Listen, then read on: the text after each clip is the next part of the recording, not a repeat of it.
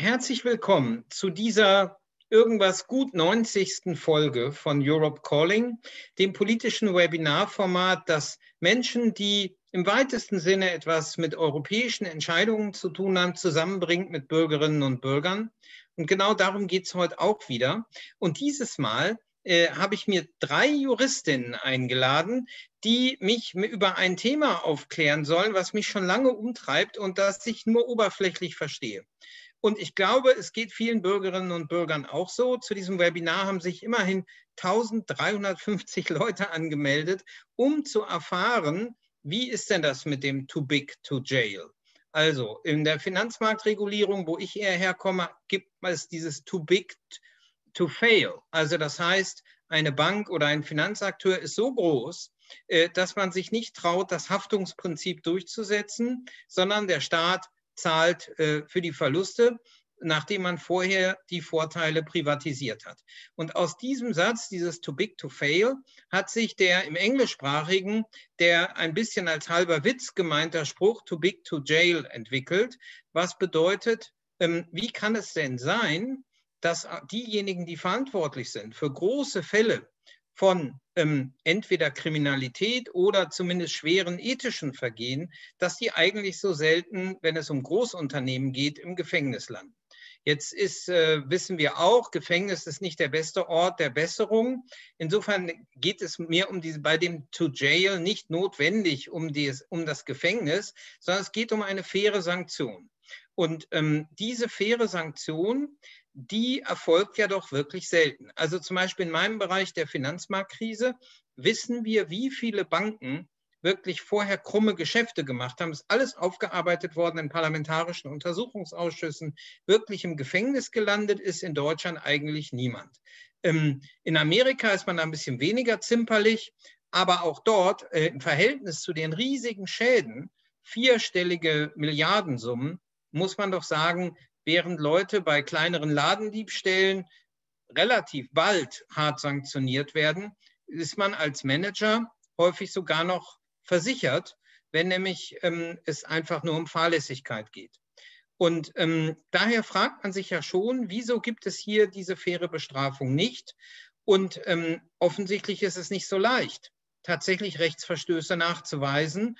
Und daher stellt sich auch die Frage, gibt es nicht auch ähm, kollektive Verantwortung bei einem Unternehmen, auch dann, wenn man eine individuelle Schuld nicht so leicht nachweisen kann. Also, was muss man ändern, damit es letztlich das Haftungsprinzip in der sozialen Marktwirtschaft auch bei großen Fällen von Wirtschafts- und Finanzkriminalität gilt. Und ich bin super gespannt, weil wir haben so viel Expertise im Raum.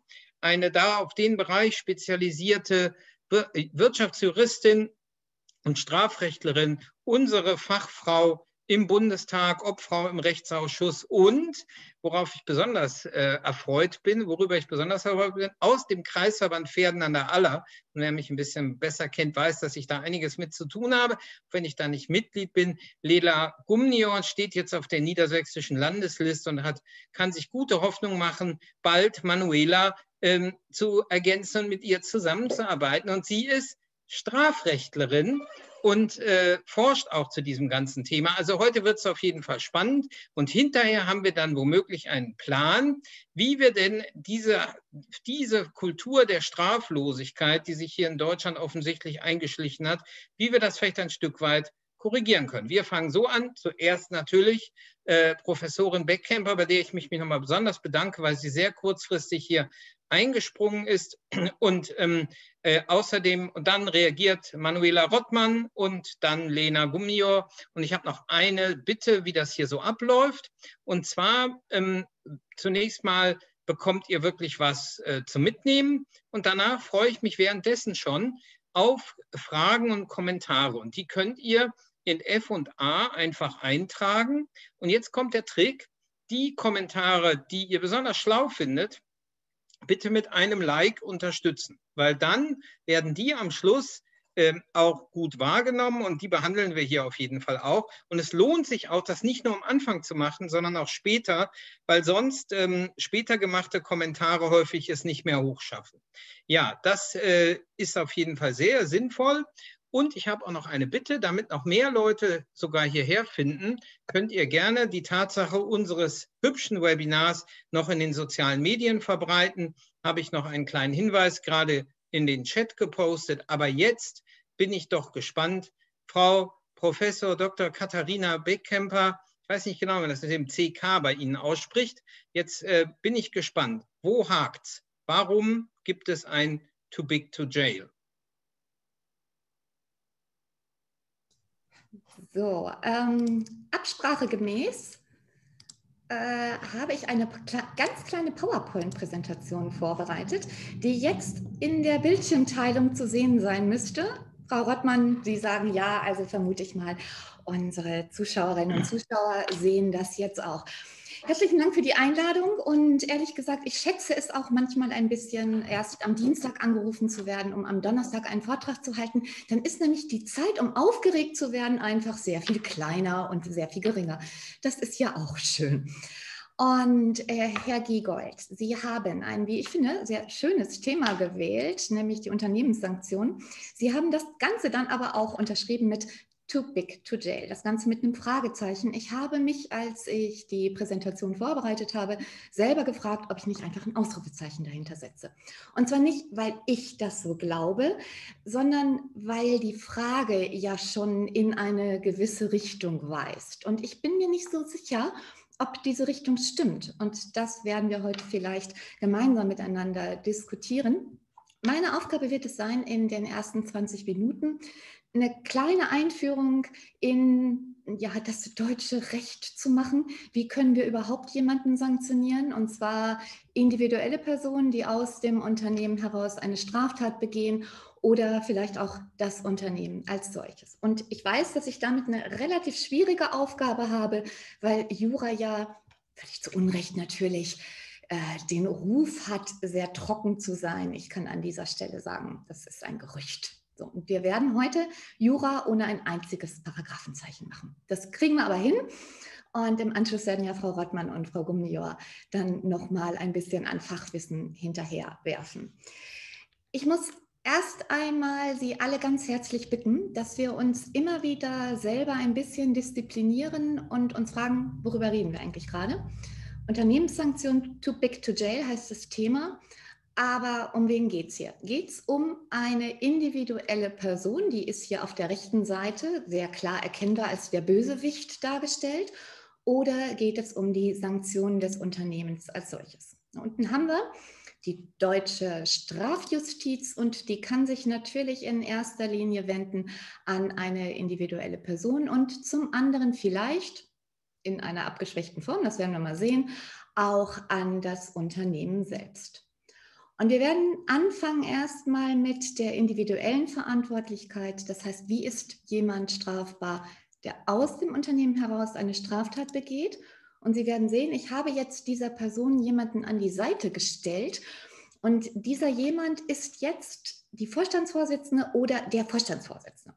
Also das ist nicht die Person, die die Straftat begangen hat, sondern das ist die Person, die dem Unternehmen vorsteht als Vorstand, Geschäftsführer, wie auch immer.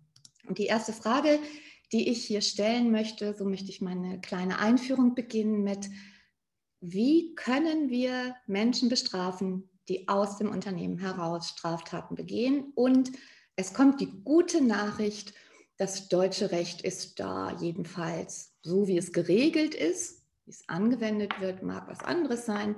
Darüber werden wir heute diskutieren. Aber so wie es geregelt ist, erstmal ohne Fehl und Tadel.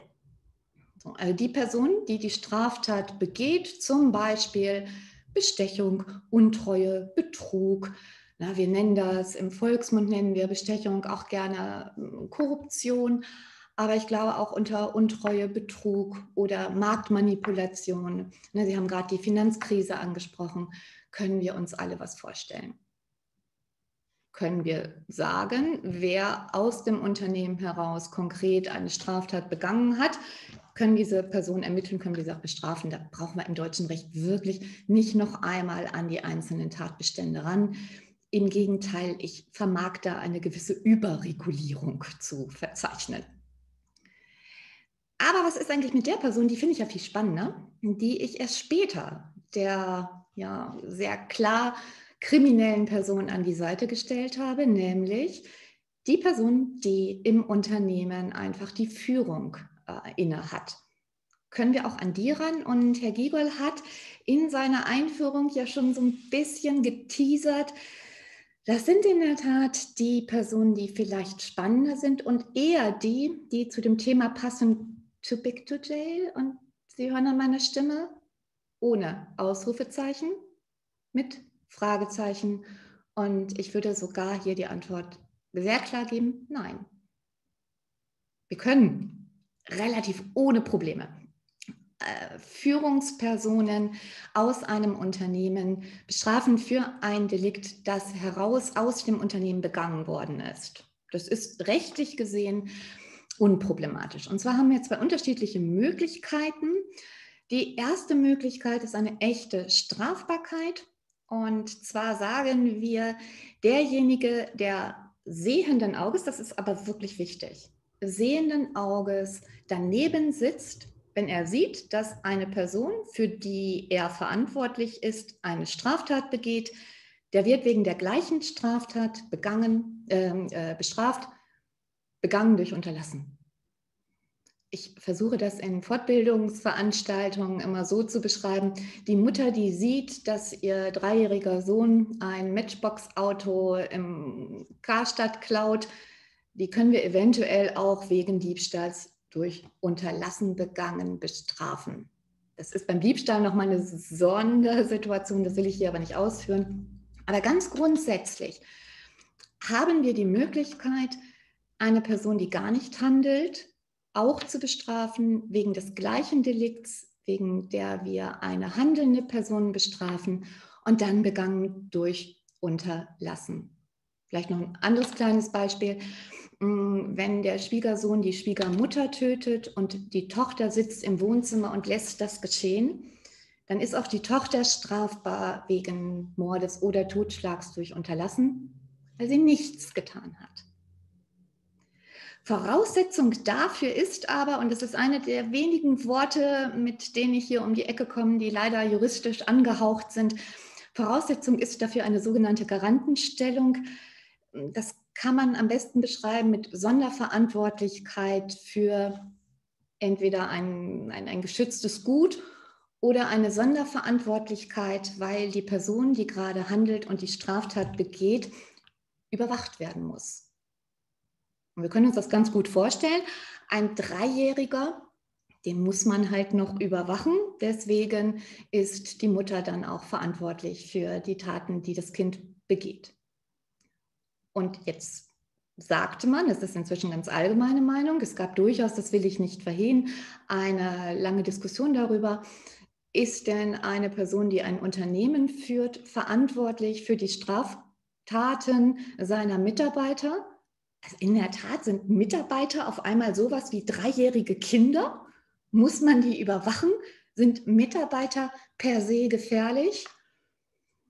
Die Rechtsprechung sagt sehr deutlich ja. Das heißt, wir haben hier eine gesetzliche Regelung und das Ganze in Kombination mit einer Rechtsprechung, die ich als gefestigt ansehen darf, weil wir aus dieser Rechtsprechung nicht mehr rauskommen, nämlich auch der Unternehmensleiter, die Unternehmensleiterin macht sich strafbar wegen des Deliktes, das aus dem Unternehmen begangen worden ist. Voraussetzung, und das ist leider tatsächlich wahrscheinlich unser Nadelöhr, wir müssen nicht nur wissen, dass tatsächlich äh, vorher Vorsatz äh, auch bestanden hat, sondern wir müssen es auch nachweisen. Ah, da kommen wir gleich noch zu. Wir haben eine zweite Möglichkeit. Und zwar können wir ein Bußgeld verhängen wegen der unterlassenen Aufsichtspflicht. Und ich muss an dieser Stelle ganz kurz den Unterschied zwischen Straftaten und Ordnungswidrigkeiten erklären. Das ist aber auch leicht, weil wir Ordnungswidrigkeiten alle kennen. Ich wage mal eine These. Viele von uns, bekenne mich mal selber dazu, aber ich könnte mir vorstellen, auch viele unserer Zuhörerinnen und Zuhörer haben schon mal eine Ordnungswidrigkeit begangen. Falsch parken, zu schnell fahren. Ne? All das sind Ordnungswidrigkeiten. Die kosten Geld aber man ist danach nicht vorbestraft. Und wir haben hier als Möglichkeit nicht nur diese Strafbarkeit wegen Begehung durch Unterlassen, sondern wir haben auch noch die Möglichkeit, ein Bußgeld zu verhängen. Jetzt kann man sagen, boah, ich wie gesagt, habe ja auch schon mal ein Bußgeld zahlen müssen. 20 Euro war jetzt blöd, aber das hält mich vielleicht nicht unbedingt davon ab, aus dem Unternehmen heraus äh, ja, etwas zu begehen, beziehungsweise die Aufsicht nicht zu führen. Äh, fairerweise, wir reden hier natürlich nicht über 20 Euro, ne? sondern wir reden hier äh, tatsächlich von einer Million und die gehen dann auch aus dem Privatsäckel. Und dagegen wenn wir jedenfalls ein vorsätzliches Verhalten haben, kann man sich eben auch nicht versichern. Hm? Das ist nicht versicherbar. So, Verantwortlichkeit der Individualperson vom Recht her angelegt. Aber natürlich haben Sie eine Frage, too big to jail. Warum hören wir so selten von Verurteilungen?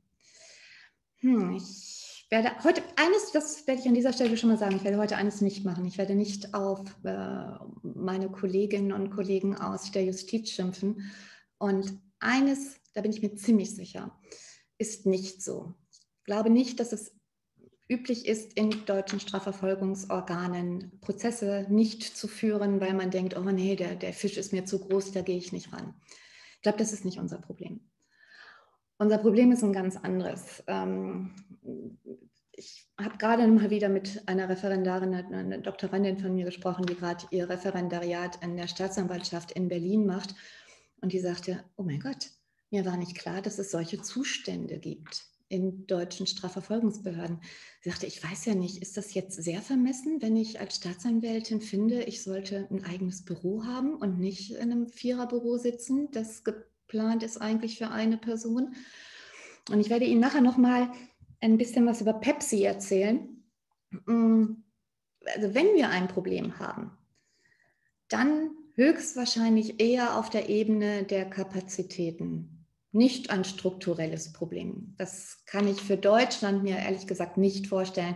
Wenn, dann wäre es bislang sehr, sehr gut versteckt geworden. So, Individualpersonen, wir können sie bestrafen, aber natürlich sind solche Verfahren kompliziert. Die sind einfach sehr, sehr schwierig und da ist auch die Ermittlung manchmal vielleicht gar nicht mehr durchzuführen. Kommen wir zum Zweiten. Wir wollen ja auf der rechten Seite vielleicht auch noch an jemanden ran, und zwar das Unternehmen selbst. Und deswegen fragen wir uns jetzt, kann denn die deutsche Strafverfolgung auch an das Unternehmen heran? Und beginnen wir erstmal mit ein paar Presseauszügen, weil wir ab und an in der Presse ja durchaus etwas hören. Das mag auch die hohe Beteiligung heute in diesem Webinar erklären. Wir lesen sowas ja allenthalben. Siemens akzeptiert 800 Millionen Dollar Strafe. Nächste Dieselklatsche für VW, neue Milliardenstrafen, Milliarden. So, Kanada verhängt Millionenstrafen gegen VW. Und dann als das letzte, Daimler wehrt sich gegen einen US-Aufpasser. Hm, was haben wir gerade auf diesen ersten Folien gesehen? Es ging um Dollar, es ging um Kanada, es ging um USA. Es geht aber nicht um Deutschland. Also ich, das Wort Euro ist bislang noch nicht gefallen, ne? sondern wir reden immer von diesen sehr, sehr hohen Zahlungen, die offensichtlich in ein anderes Land geleistet werden von auch deutschen Unternehmen. Und jetzt gucken wir uns das mal ganz kurz an warum reden wir immer über das US-Recht? Im US-amerikanischen Strafrecht gibt es, übrigens ohne dass es tatsächlich im Gesetz steht, das ist als völlig selbstverständlich anerkannt und zwar seit 119 Jahren, es gibt echte Sanktionen auch gegen ein Unternehmen. Und diese Sanktionen sind auch gar nicht nur Geldstrafe, sondern die können auch noch viele furchtbarere Dinge vorsehen, nämlich die Zerschlagung oder dass da jemand ins Unternehmen gesetzt wird und der übernimmt jetzt mal die Führung im Unternehmen. Also kommt dann jemand und sagt, Vorstandsvorsitzender von Siemens ist jetzt jemand aus den Vereinigten Staaten. Ähm, das Ganze wird berechnet nach den Federal Sentencing Guidelines. Das ist nur so halb richtig, aber grundsätzlich gibt es ein 42-seitiges Werk in den Vereinigten Staaten, in denen drin steht, wenn aus einem Unternehmen heraus eine Straftat begangen wird, und dann gibt es über 42 Seiten ausgeführt, welche Kriterien beachtet werden müssen, eine Strafe, die sich dann eben auch auf 800 Millionen Dollar äh, belaufen kann. Was passiert tatsächlich in den USA? Das muss man wissen. Wenn Sie mal in den einschlägigen Datenbanken gucken nach Verurteilungen gegen Unternehmen, werden Sie erstaunlich wenige finden. Also wirklich erstaunlich wenige. Es gibt welche, aber sie sind selten. Was passiert da? Man rechnet eine Strafe aus nach den Federal Sentencing Guidelines und dann geht man zum Unternehmen und man ist in diesem Fall das Ministerium also das Justizministerium, das DOJ, geht zum Unternehmen und sagt, so hör mal zu, ich habe mal ausgerechnet, was deine Strafe wäre. Das wären so 2,8 Milliarden. Was machen wir denn da jetzt? Und dann muss das Unternehmen reagieren. Und wie reagiert es? Es kooperiert, es holt sich Leute aus den Vereinigten Staaten ins Unternehmen, hat Siemens gemacht, hat über Jahre 100 ehemalige Staatsanwälte aus den Vereinigten Staaten ermitteln lassen. Äh, ach so, das zahlt übrigens auch alles das Unternehmen. Ne? Das heißt, es ist ein System, das von vornherein darauf angelegt ist, dass es überhaupt nicht zum Prozess kommen wird, sondern diese angebliche Strafe, die wird als Verhandlungsmasse auf den Tisch gelegt. Man redet darüber. Und am Ende ist natürlich dann das, was das Unternehmen zahlt, immer noch beachtlich, aber nicht mehr das, was man früher angedroht hat. Aber es gibt auch in Deutschland einen Mechanismus. Und jetzt sehen wir hier oben die Überschrift, Siemens akzeptiert Millionen Buße. Und ich möchte mit Ihnen auf die Zahl gucken, nämlich mit einer Geldbuße von 201 Millionen Euro äh, hat Siemens seine korrupten Geschäfte auch hier in Deutschland gezahlt.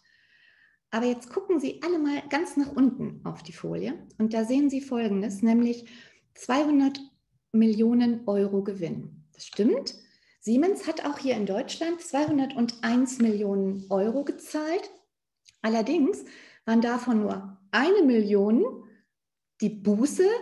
Inzwischen könnte man 10 Millionen nehmen. Sie sehen, ne, der Artikel kommt von 2007. Inzwischen hätten wir 10 Millionen, aber das ist ja immer noch ein bisschen weit weg von 200 und noch was.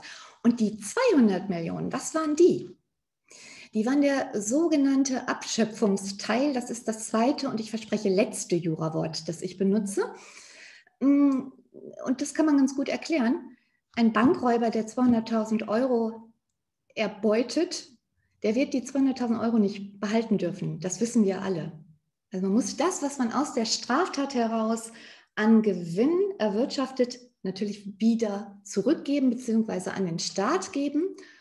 Und das waren hier diese 201 Millionen. Eine Million Geldbuße, 200 Millionen waren der sogenannte Abschöpfungsteil, also das, was auch der Bankräuber später nach der Straftat wieder abgeben muss.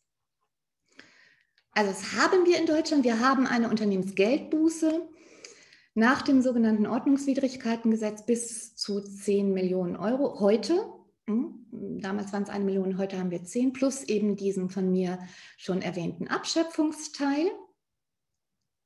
Aber wir haben ein Problem. Also man, man könnte jetzt ja sagen, okay, dann haben wir ja sowas wie eine Sanktion gegen ein Unternehmen. Wir haben in Deutschland eine seit zumindest von mir so beachteten, und es ist mir peinlich, weil ich damit Teile meines Alters preisgebe. Ich glaube, ich habe das erste Mal die Diskussion, ob man ein Unternehmen bestrafen kann, vor 25 Jahren bei meinem inzwischen akademischen Opa in der Vorlesung Wirtschaftsstrafrecht gehört. Und man diskutiert in Deutschland darüber, ob man ein Unternehmen bestrafen kann, weil Strafe Schuld voraussetzt. Ich werde diese Diskussion mit Ihnen hier heute nicht aufrollen. Die ist auch ausdiskutiert. Wer aber Lust hat, äh, sich mal die Stellungnahmen zum Verbandssanktionsgesetzentwurf anzugucken, Sie werden immer noch Kolleginnen und Kollegen von mir finden, die immer noch sagen, ah, Unternehmensstrafrecht, das geht nicht, verstößt gegen unser deutsches Prinzip, Strafe setzt Schuld voraus. Warum ist das aber ein Unterschied? Wir könnten uns ja sagen, naja, wir haben ja dieses Ordnungswidrigkeitengesetz, wir haben ja die Geldbuße, da könnten wir jetzt ja auch 300 Millionen draus machen, aber es würde uns nicht helfen. Warum nicht? Und das sehen Sie auf der rechten Seite. Die Ordnungswidrigkeiten unterliegen dem Opportunitätsprinzip. Und Sie sehen, ich habe Sie angelogen, es kommt noch ein Jurawort. Was heißt Opportunitätsprinzip? Dass es keine Pflicht gibt zur Verfolgung. Das heißt, die Staatsanwaltschaften können sich überlegen, ob sie Bußgelder verhängen oder nicht. Es geht im Strafrecht nicht, ne? da muss man verfolgen. Im Ordnungswidrigkeitenrecht allerdings gibt es dieses sogenannte Opportunitätsprinzip. Das heißt, ich kann mir überlegen, ob ich ahnde oder nicht. Ja, und jetzt werden Sie mir folgende Frage stellen, nämlich wird denn flächendeckend und vor allen Dingen gleichmäßig diese Geldbuße verhängt? Und da kann ich Ihnen ganz klar sagen, nö. Das, das ist wirklich, das wissen wir inzwischen. Es gibt dazu sogar mehrere Untersuchungen. Äh, eine hat es äh, zu einer gewissen Popularität äh, geschafft, nämlich sie ist in Auftrag gegeben worden, damals vom Land Nordrhein-Westfalen, weil es einen nordrhein-westfälischen Entwurf gab zum Unternehmensstrafrecht. Und man hat herausgefunden, es gibt tatsächliche Unterschiede zwischen den einzelnen Schwerpunktstaatsanwaltschaften. Ähm, und äh, es gibt tatsächlich, das muss ich sagen, es gibt so ein paar Staatsanwaltschaften, die da sehr ähm, ja, sich vorgetan haben, die man auch in der Presse immer wieder liest. Und zwar sind das Bochum, Stuttgart und München. Die sind offensichtlich sehr viel gewillter oder besser ausgestattet. Woran liegt das? Dass es dieses Vollzugsdefizit gibt es gibt mehrere Gründe. Ähm, zum einen muss man sich immer vor Augen halten, die Verfolgung wegen eines Bußgelds gehört nicht zur originären Aufgabe der Staatsanwaltschaft. Deren originäre Aufgabe ist es, Straftaten zu verfolgen und nicht Bußgelder. Ähm, Bußgelder werden ja eigentlich von einer Ordnungsbehörde verhängt ne, und nicht von ähm, der Staatsanwaltschaft bzw. vom Gericht. Aber hier, jedenfalls, wenn wir eine Straftat haben, ist es die Zuständigkeit des Gerichts. Es ist natürlich ein unglaublicher zeitlicher Aufwand. Und ich habe Ihnen erzählt, ich werde ähm, angekündigt, ich werde Ihnen etwas über Pepsi erzählen. Pepsi ist für äh, Justizangehörige etwas sehr, sehr Wichtiges. Und zwar ist das das Personalbedarfsberechnungssystem. Abgekürzt Pepsi schreibt sich anders, als man spricht, also nicht wie das Softgetränk, und nach meinen Informationen, das muss man sich wirklich mal, äh, das, da muss ich jetzt langsam reden, weil das ist ein Skandal. Staatsanwaltschaften haben nach dem Pepsi für die Verfolgung einer Ordnungswidrigkeiten 16 Minuten. Also Pepsi sagt immer pro, mhm, was du machst, bekommst du so und so viele Minuten gut geschrieben. Bei Amtsgerichten sind es immerhin 39 Minuten. So, jetzt können Sie sich vorstellen, wie groß ist denn das Interesse, so ein kompliziertes Ordnungswidrigkeitenverfahren durchzuführen.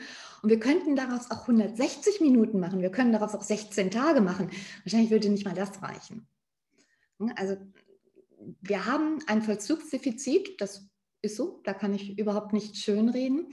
Und es liegt aber daran, dass tatsächlich wir da nicht gut aufgestellt sind. Aber Rettung naht ja. Ne? Oder jedenfalls, wenn wir diese Veranstaltung vor einem Jahr gemacht hätten, da hätte ich gesagt, naja, wir haben bald, wir haben demnächst. Äh, wir haben nicht demnächst, aber das ist der Teil von Frau Rottmann. Ich bin sehr gespannt, was Sie uns da aus dem Nähkästchen äh, erzählen. Ja, es gibt einen Entwurf für ein Unternehmensstrafrecht, das sich dann in der deutschen Version Verbandssanktion nennt. Und ja, das ist, sagen wir mal, nicht von allen mit ganz viel Wohlwollen aufgenommen worden. Da war dann schon die Rede vor den amerikanischen Verhältnissen. Und äh, die Unternehmen müssen dann selber ermitteln und das auch noch zahlen.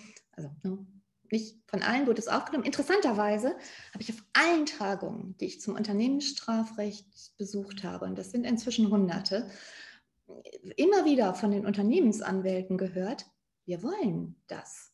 Wir wollen das, weil wir dann eine Rechtssicherheit haben, insbesondere wie wir mit Bemühungen aus dem Unternehmen heraus umgehen, sich besser zu verhalten.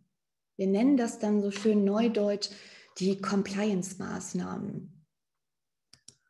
Und äh, ja, na, es gibt also Empörung, ähm, aber ne, wäre Wirecard jetzt äh, so passiert, wenn wir vielleicht vorher ein System gehabt hätten? Ich weiß es nicht. Und zum Abschluss, wenn es jetzt also was ganz, ganz Furchtbares ist, was unsere Wirtschaft auch nachhaltig schädigen würde, wenn wir es hätten, fragen wir uns doch mal, gibt es denn sowas in anderen Ländern, jetzt abgesehen von den USA? Tja, und jetzt sehen Sie hier, ich habe jetzt hier nicht etwa auf der einen Seite mal alle europäischen Länder aufgeschrieben, die mir so eingefallen sind, sondern das sind die europäischen Länder, die ein Unternehmensstrafrecht haben. Es wäre wahrscheinlich sehr viel kürzer gewesen. Ich hätte Ihnen einfach gesagt, wer es nicht hat. Wer hat es nicht? Griechenland, Lettland, Schweden. Die haben so, so ein ähnliches Modell, wie wir das haben, nämlich ein Ordnungswidrigkeitenmodell. Ist das jetzt wirklich der Untergang des Abendlandes, wie man das immer so sagt. Ich freue mich gleich auf die Diskussion. Wir werden nach den Worten von Frau Rottmann hoffentlich auch noch ein bisschen über diesen Entwurf im Einzelnen reden. Wir haben in der Vorbesprechung schon gesagt, wir finden einiges gut, wir finden einiges nicht so gut. Aber bevor wir das in der Diskussion vielleicht nochmal klären, würde ich mich jetzt verabschieden und das Wort zurück an Herrn Giegel geben, damit er es an Frau Rottmann geben kann. Vielen Dank. Sie hätten das wunderbar alleine hinbekommen. Äh, der, ähm, ja, spannend. Vielen Dank für diesen klaren und vor allem auch verständlichen Überblick über der, die Malaise. Und ähm, ich bin äh, gespannt. Wir lesen ja im Koalitionsvertrag äh, der großen Koalition, dass es äh, ein Unternehmens ähm, Sanktionsrecht geben sollte. Das haben wir nun nicht und du warst genau zugeschaut, was da eigentlich passiert ist. Manuela, bitte. Unsere Sprecherin übrigens im Rechtsausschuss äh, des Bundestages. Ja, allen einen äh, sehr schönen guten Abend. Ähm, ich bin, äh, das bekenne ich gleich zu Anfang, ähm, eine gute Juristin, aber eine katastrophale Strafrechtlerin. Deswegen bin ich sehr begeistert, dass ich heute unterstützt werde von ähm, Frauen, die sich damit besser auskennen als ich. Ich mache Wirtschaftsrecht und im, dazu gehört das Unternehmenssanktionsrecht natürlich auch zu der Frage, welche Qualität hat eigentlich der Standort Deutschland? Mir hat gut gefallen an, dem, äh, an den vielen schönen Überschriften, die Frau Beckhemper uns gezeigt hat es drohen amerikanische Verhältnisse. Und vorher hat sie ja gezeigt, ähm, dass äh, wirksame Sanktionen auch in den großen Skandalen, wie wir sie kennen, vor allem äh, im Dieselskandal, vor allem in den USA verhängt wurden. Und das heißt, ähm, die Frage stellt sich, ob wir nicht eher deutsche Verhältnisse haben, längst, die ziemlich kritisch sind, auch für den Standort und für seine Wettbewerbsfähigkeit. Und ich will es mal in den größeren Zusammenhang ein, einkleiden. Ähm, also man kann ja fragen, warum wollen wir eigentlich ähm, stärkere Sanktionen? Das ein, da gibt es unterschiedliche Interessen. Das eine ist zum Gerechtigkeitsinteresse.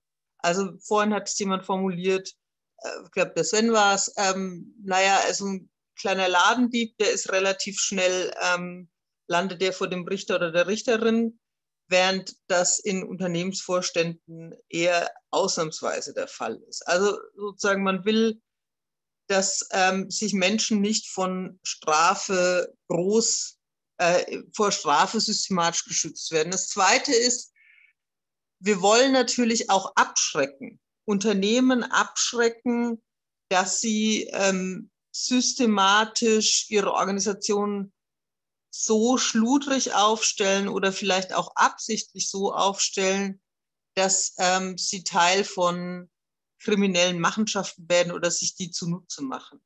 Wir wollen drittens ähm, die Geschädigten entschädigen. Auch das ist ein Teil ähm, des Problems und des Komplexes Wirtschaftskriminalität. Ich nenne das Beispiel VW-Dieselskandal. Was ist eigentlich mit der Entschädigung derjenigen, die ein solches manipuliertes äh, Fahrzeug gekauft haben? Dasselbe Thema haben wir bei Wirecard. Was ist eigentlich mit der Entschädigung der Anlegerinnen und Anleger, die dort ihre Altersversorgung verloren haben? Auch das ist ein in Deutschland ungelöstes kritisches Problem. Und man kann es jetzt mal so zusammenfassen, diese Koalition aus Union und SPD ging in diese ähm, Wahlperiode mit dem einen Verspre mit den zwei Versprechen, es soll eine Musterfeststellungsklage geben, das war das eine Versprechen, ähm, damit geschädigte Verbraucherinnen und Verbraucher sich vor Gericht ähm, durch einen Verband vertreten lassen können und so gemeinsam ihre Schadenersatzansprüche durchsetzen können. Das haben alle mitbekommen. Da gibt es ein, im Wesentlichen ein einziges Verfahren bisher, was ähm, der ähm, VZBV durchgeführt hat, ähm, was auch ähm, viele Menschen entschädigt hat, die sonst gar nichts gesehen hätten. Aber im Vergleich zur Kraft, zur Durchsetzungskraft und auch zur Abschreckungskraft von Sammelklagen, wie wir sie in den Vereinigten Staaten kennen, wie wir sie mittlerweile in Frankreich kennen, wie wir sie in Österreich kennen, ist es ein sehr, sehr schwacher, schwaches Instrument. Es gibt jetzt eine europäische Richtlinie, die EU-Sammelklagerichtlinie, die müssen wir umsetzen. Die wird auf jeden Fall eine schärfere Regelung auch in Deutschland ähm, voraussetzen. Ich würde noch darüber hinausgehen, wir Grünen würden darüber hinausgehen und sagen, auch echte Gruppenklagen ohne Verbände sollten ermöglicht werden.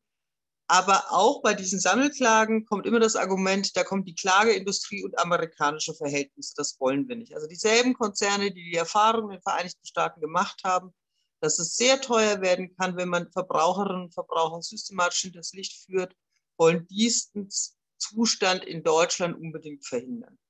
Dann haben wir das zweite Thema, wie komme ich denn überhaupt an Informationen? Und da, äh, auch wenn man sich die großen Wirtschaftsskandale dieser Wahlperiode anschaut, wiederholt sich eigentlich auch immer wieder ein Muster. Das ist die Frage, wie gehen wir eigentlich mit unternehmensinternen Hinweisgebern um, Whistleblowern. Auch da, ähm, da gab es keine Regelung im Koalitionsvertrag. Also Whistleblower-Schutz war nicht als ähm, Ziel dieser Koalition vereinbart, ist extrem umstritten nicht nur bei der Union, sondern auch ähm, aus der FDP, der AfD rede ich jetzt gar nicht. Erst, hört man zu dem Thema tatsächlich, wir wollen keine Denunzianten schützen, wir wollen, ähm, wir wollen ähm, äh, sozusagen, dass das keine also unlauteren Motive ähm, schützen. Aber der, Hinweis, der effektive Hinweisgeberschutz ist natürlich essentiell dafür, dass ich überhaupt an die Information komme um Unternehmen zu sanktionieren. Und auch da ist der, äh, wir haben jetzt eine Hinweisgeberschutzrichtlinie aus ähm, Brüssel, die ist, finde ich, sehr, sehr gut geworden. Da hat das Parlament wirklich sehr, sehr gut verhandelt. Dazu gibt es einen Entwurf von Christine Lamprecht aus dem Justizministerium, die umzusetzen. Die Umsetzungsfrist läuft Ende äh, im Oktober 2021 aus, also kurz nach der Bundestagswahl. Das hätte man jetzt noch machen können dieses Thema ist abgesetzt. Die Union verhindert es. Und dann haben wir als letzten Punkt, dazu komme ich jetzt, das Unternehmenssanktionsrecht. Das heißt, jetzt Gesetz zur Stärkung der Integrität der Wirtschaft ist auch nötig in Deutschland, würde ich mal so sagen. Auch da gibt es einen Entwurf, der ist durchs Kabinett durch. Es gibt eine Vereinbarung im Koalitionsvertrag, ähm, dass es ein solches Unternehmenssanktionsrecht geben soll der wesentliche Punkt, da kann ich anknüpfen an das, was Frau Beckhemmer, Beckhemper geschrieben hat, ist erstens, die Höhe der Bußen wird deutlich erhöht. Also die können umsatzorientiert sein. Das ist eine Neuerung. Also ähm, nicht mehr gedeckelt auf 10 Millionen, sondern Umsatz, äh, können sich am Umsatz orientieren. Und ein zweiten, zweiter wesentlicher Punkt, es wird das Legalitätsprinzip eingeführt. Das heißt, die Staatsanwaltschaften müssen solche ähm, Verstöße aus Unternehmen heraus verfolgen. Das Unternehmen wird bestraft am Ende.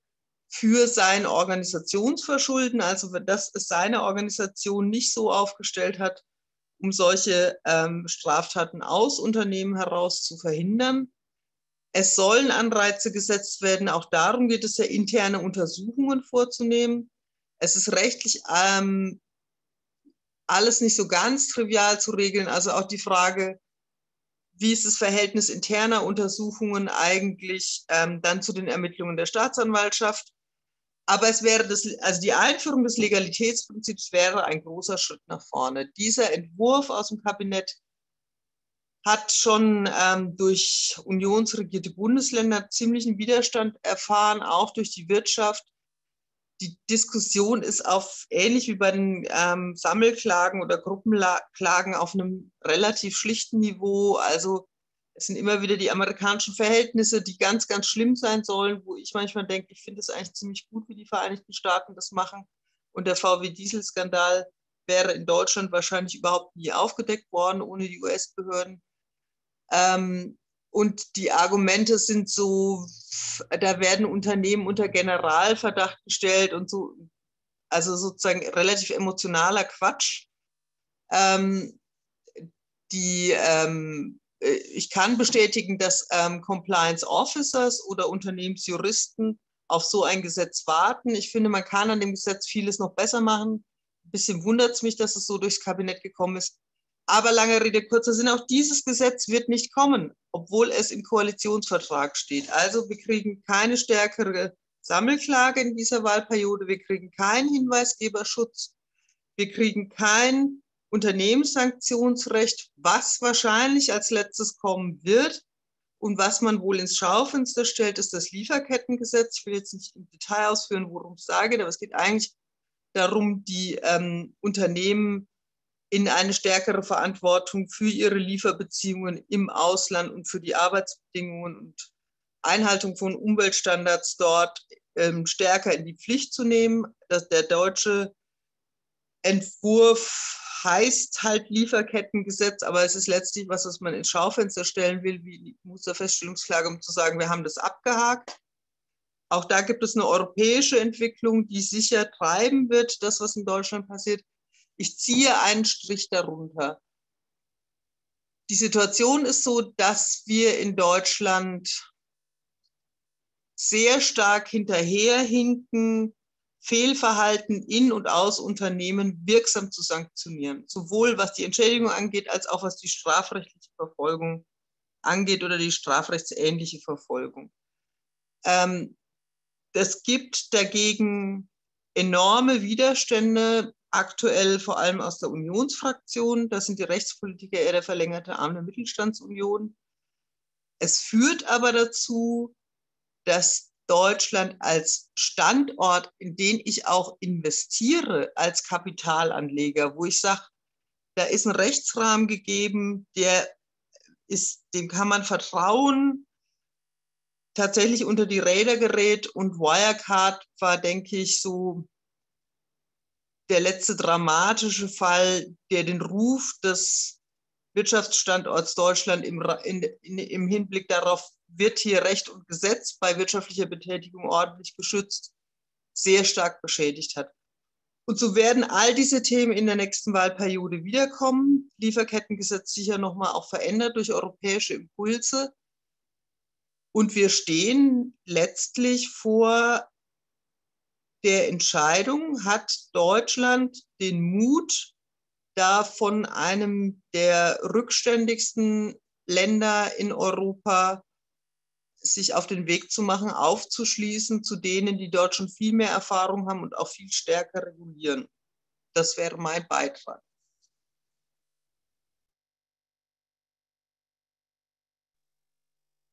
Vielen Dank, liebe Manuela. Ich finde ja Juristinnen und Juristen überhaupt nicht langweilig, sondern eher scharfzüngig. Äh, und ähm, das bestätigt sich auch immer wieder. Und wer deine Reden im Bundestag gehört hat, weiß, dass man sich mit Manuela immer vorher überlegt, ob man sich mit ihr anlegt. Ich finde, das ist auch heute wieder sehr deutlich geworden, wie klar das alles ist. So, äh, und bevor ich jetzt noch mehr komische Sachen sage, äh, erstmal noch kurz die Aufforderung für die Fragerunde Schreibt eure Fragen und Anmerkungen in F&A und bewertet gerne die klugen Sachen, die da schon stehen, mit einem Daumen hoch. Äh, und jetzt bin ich gespannt, äh, nämlich ähm, zum einen, äh, liebe Lena und ähm, Gumnio, wie siehst du das alles? Was bringst du, womit trittst du an Richtung Bundestag, was diese Fragen angeht? Du kannst jetzt dort ja vielleicht, hoffentlich, ähm, bald mit äh, Politik schreiben. Manuela hat ja gesagt, die Große Koalition hat alles nicht gemacht äh, und deshalb ist ja noch jede Menge zu tun. Wie bewertest du äh, diese Lage? Bitte schön. Ja, danke. Ich nehme das mal als Arbeitsaufforderung äh, mit und habe äh, natürlich ein paar Ideen äh, dabei, was man machen kann. Und Manuela hat ja auch schon gesagt, wir haben dadurch, dass Deutschland sehr lange nichts getan hat, die komfortable Situation. Wir können über die Landesgrenzen gucken und schauen, was haben eigentlich andere Länder gemacht und ähm, können aus diesen Erfahrungen auch etwas mitnehmen. Und ich bleibe mal erst noch beim Verbandssanktionengesetz und ähm, habe mir da einmal den besonderen Bereich der Sanktionen angeschaut. Der Gesetzesentwurf in seiner jetzigen Form sieht ja tatsächlich nur, aber immerhin eine Geldstrafe vor. Wir sind da aber überhaupt nicht beschränkt. Also es gibt erstmal keinen Grund, juristisch gesehen das auf eine Geldstrafe zu beschränken, sondern es gibt auch Möglichkeiten, andere Sanktionen zu verhängen. Eine Freiheitsstrafe bietet sich für ein Unternehmen natürlich nicht an. Aber was wir aus dem EU-Ausland sehen, es gibt zum Beispiel die Möglichkeit, ähm, die Tätigkeiten der Verbände zu beschränken, dass sie in bestimmten Bereichen für eine Zeit lang nicht mehr tätig werden dürfen. Oder auch die Möglichkeit einer zwangsweisen Verbandsauflösung, ähm, wie es sie zum Beispiel in den USA gibt, aber auch in Belgien. Aber wir können zum Beispiel auch von staatlicher Seite sagen, wir ähm, nehmen Unternehmen von Subventions- und Auftragsvergaben aus für einen bestimmten Zeitraum. Und wenn wir uns anschauen, Frau Beckhemper hatte ja auch die Zeitungsausschnitte äh, mitgenommen und ich habe so ein bisschen in F&A zwischendurch geschaut, da war schon so ein bisschen die Frage, ja, das scheint Ihnen ja überhaupt nicht weh zu tun. Also welche Strafe ist eigentlich so empfindlich, dass sie vielleicht einen Effekt hätte? Und ich glaube, da können wir durchaus kreativ ähm, sein. Was es auch geben kann, ist die Schließung von einzelnen Niederlassungen, in denen es zu Rechtsverstößen gekommen ist. Und die Frage ist natürlich auch, wie kommunizieren wir solche Rechtsverstöße nach außen? Da kann natürlich ein Register geführt werden. Das Verbandssanktionsgesetz sieht auch so ein Verurteilungsregister vor. Da könnten wir jetzt als Privatperson nicht hingehen und sagen, äh, ich würde gerne mal wissen, was da zu dieser und jener Firma drinsteht. Sehr klar, wir können uns ja auch nicht gegenseitig unsere polizeilichen Führungszeugnisse ausdrucken lassen. Ähm, aber es sieht auch eine Veröffentlichung vor außerhalb des Verurteilungsregisters, aber nur dann, wenn wir eine große Vielzahl von Opfern haben. Dann ist die erste Frage, wann ist eine große Vielzahl von Opfern erreicht? Und außerdem ist das Ganze eine sogenannte Kann-Regelung. Das heißt, das Gericht kann das anordnen, das muss es aber nicht anordnen und im Zweifel kann es eben auch darauf verzichten. Ich glaube aber, um sozusagen eine gesellschaftliche Missbilligung auch von Wirtschaftskriminalität nach außen zu tragen, kann es sinnvoll sein, das Ganze auch zugänglicher zu machen und auch klar zu machen, in welchen Bereichen zum Beispiel Rechtsverstöße begangen werden. Das Ganze kann ja auch, wenn Urteile veröffentlicht werden, anonymisiert erfolgen. Aber damit es eben auch ein Gefühl in der Gesellschaft dafür gibt, was da eigentlich passiert wenn wir jetzt nochmal weggehen von dieser Verantwortung von Unternehmen ähm, hin zu, was können wir vielleicht noch machen, um die hinter Männer, hinter Frauen, hinter Unternehmen ähm, zur Verantwortung zu ziehen, dann hat Frau Beckhemper ja schon gesagt, es gibt die Möglichkeit, wenn sie natürlich einen Rechtsverstoß begehen, wie Betrug oder Untreue. Die Problematik ist bekannt, es ist ganz schwierig, das nachzuweisen im Einzelfall. Ähm, aber wir haben eben auch die Möglichkeit, eine Aufsichtspflichtverletzung des Unternehmens äh, für einzelne Mitglieder aus Vorständen zu bestrafen. Ähm, und Frau Beckham hat ja auch schon gesagt, das Ganze ist im Ordnungswidrigkeitengesetz geregelt. Also wir sind im Bußgeldverfahren und diese Verletzung der Aufsichtspflicht, da stellt sich schon so ein bisschen die Frage, warum ist das eigentlich noch im Ordnungswidrigkeitengesetz geregelt? Warum ist es nicht eigentlich im Strafgesetzbuch geregelt? Und es gibt mehrere Schwierigkeiten damit, dass diese Aufsichtspflichtverletzung noch im Ordnungswidrigkeitengesetz geregelt ist. Eine Sache haben wir schon angesprochen. Es hängt von der Behörde ab, ob verfolgt wird oder nicht. Das heißt, wir haben in Deutschland eine total uneinheitliche Rechtsanwendung. Ähm, außerdem, das können wir, glaube ich, auch als, selbst wenn wir jetzt, wir sind hier Juristinnen, aber auch für alle Menschen, die so, sich nicht viel mit Jura beschäftigen, es ist schon was anderes, ob ich von Bußgeld spreche oder von einer Strafe. Also Strafe hat eben auch immer ein, ja, wir würden jetzt sagen, in der äh, Strafrechtstheorie einen expressiven Charakter. Wir bringen damit was zum Ausdruck. Wir zeigen eine Missbilligung für etwas, was passiert. Die ist natürlich bei so einem Bußgeld relativ gering und scheint sich zumindest zu verstärken, wenn wir im Bereich des Strafrechts sind. Ob das natürlich Menschen davon abhält, Strafen zu begehen, steht auf einem anderen Blatt, aber es entfaltet zumindest an eine Signalwirkung. Und ein großes Problem, was es sicherlich auch gibt mit der Aufsichtspflichtverletzung, die tritt dann nicht ein, wenn die Vorstände angemessene Maßnahmen äh, unternommen haben, um diese Pflichtverletzung ähm, zu vermeiden. Und die Frage ist natürlich, was ist eine angemessene Maßnahme? Wir haben da ganz viele spezialgesetzliche Regelungen und auch eine Rechtsprechung. Trotzdem für uns, wenn wir ins Gesetz gucken, ist es erstmal nicht klar. Das hat zum Beispiel Großbritannien gemacht. Großbritannien hat 2011 äh, da sechs Maßnahmen hingeschrieben ähm, im UK Bribery Act, also der sich ganz besonders mit Korruption befasst und hat gesagt, das sind sechs Sachen, wenn ihr die macht, dann könnt ihr euch auch verteidigen gegen den Vorwurf der Korruption. Und ähm, eine Forderung, die damit dann auch in Deutschland zusammenhängt, ist zu sagen, ja, warum regeln wir das nicht genauer? Warum nimmt sich der Gesetzgeber dieser Aufgabe nicht an? Dann kann man wie immer sagen, das funktioniert im Strafrecht fantastisch. Es ist ganz kompliziert und das muss jedes Unternehmen selbst wissen und die Lage ist so diffizil, wir können da keine Regelung treffen. Damit verlagert er aber eigentlich am Ende die Verantwortung auf die Gerichte, was mit Sicherheit nicht zu einer einheitlichen Rechtsprechung führt. Ich glaube, wir können da schon uns nochmal ähm, ein Vorbild an den anderen EU-Staaten nehmen und hier vielleicht mal nach England schauen und ähm, zum Abschluss können wir auch sogar noch einmal nach Österreich schauen, äh, um nochmal eine Sache aufzunehmen, die Frau Beckkemper auch aufgemacht hat. Ja, Unternehmen, die können ja gar nicht schuldhaft handeln. Unternehmensstrafrecht, das geht nicht. Und was wird dann aus unserem guten Individualstrafrecht? Äh, vielleicht bricht das Kartenhaus dann zusammen. Ähm, in der, äh, in, bevor es das Verbandssanktionsgesetz, den Entwurf gab, den es jetzt gibt, gab es natürlich ganz viele andere Entwürfe, zum Beispiel aus Köln. Und die sind tatsächlich mal nach Österreich gefahren und haben da äh, Interviews geführt mit den Menschen, die äh, da in der Strafverfolgung arbeiten. Und da war der Tenor, das funktioniert ganz fantastisch. Das Individualstrafrecht leidet nicht darunter, dass wir ein Unternehmensstrafrecht haben. Ich glaube, das sollte uns positiv stimmen äh, dafür, dass das eben auch in Deutschland möglich ist. Und ich würde mich auch freuen, wenn wir da mit einem offenen äh, oder mit einem frischen ähm, Geist rangehen und schauen, was ist eigentlich möglich und uns auch da inspirieren lassen durch die Rechtsordnung und die Regelung in den anderen EU-Staaten. Ja, vielen Dank. Äh, das waren nochmal eine ganze Reihe weiterer Vorschläge, inspiriert auch aus anderen Ländern. Und das war auf jeden Fall spannend. Das Einzige zu sagen ist, dass äh, sehr zu meinem Leidwesen die Engländer nicht mehr EU-Mitglied sind. Äh, gerade in diesen Fragen äh, waren die häufig klarer und straighter, als was wir in Deutschland so gewohnt sind. Das habe ich auch in der Gesetzgebung so erlebt. Ähm, aber ich will jetzt gar nicht lange hier ähm, herumlabern, sondern erstmal das Publikum hier zu Wort kommen lassen. Und das ist sehr interessant, was dort eigentlich am meisten Unterstützung findet. Ich lese hier mal vor.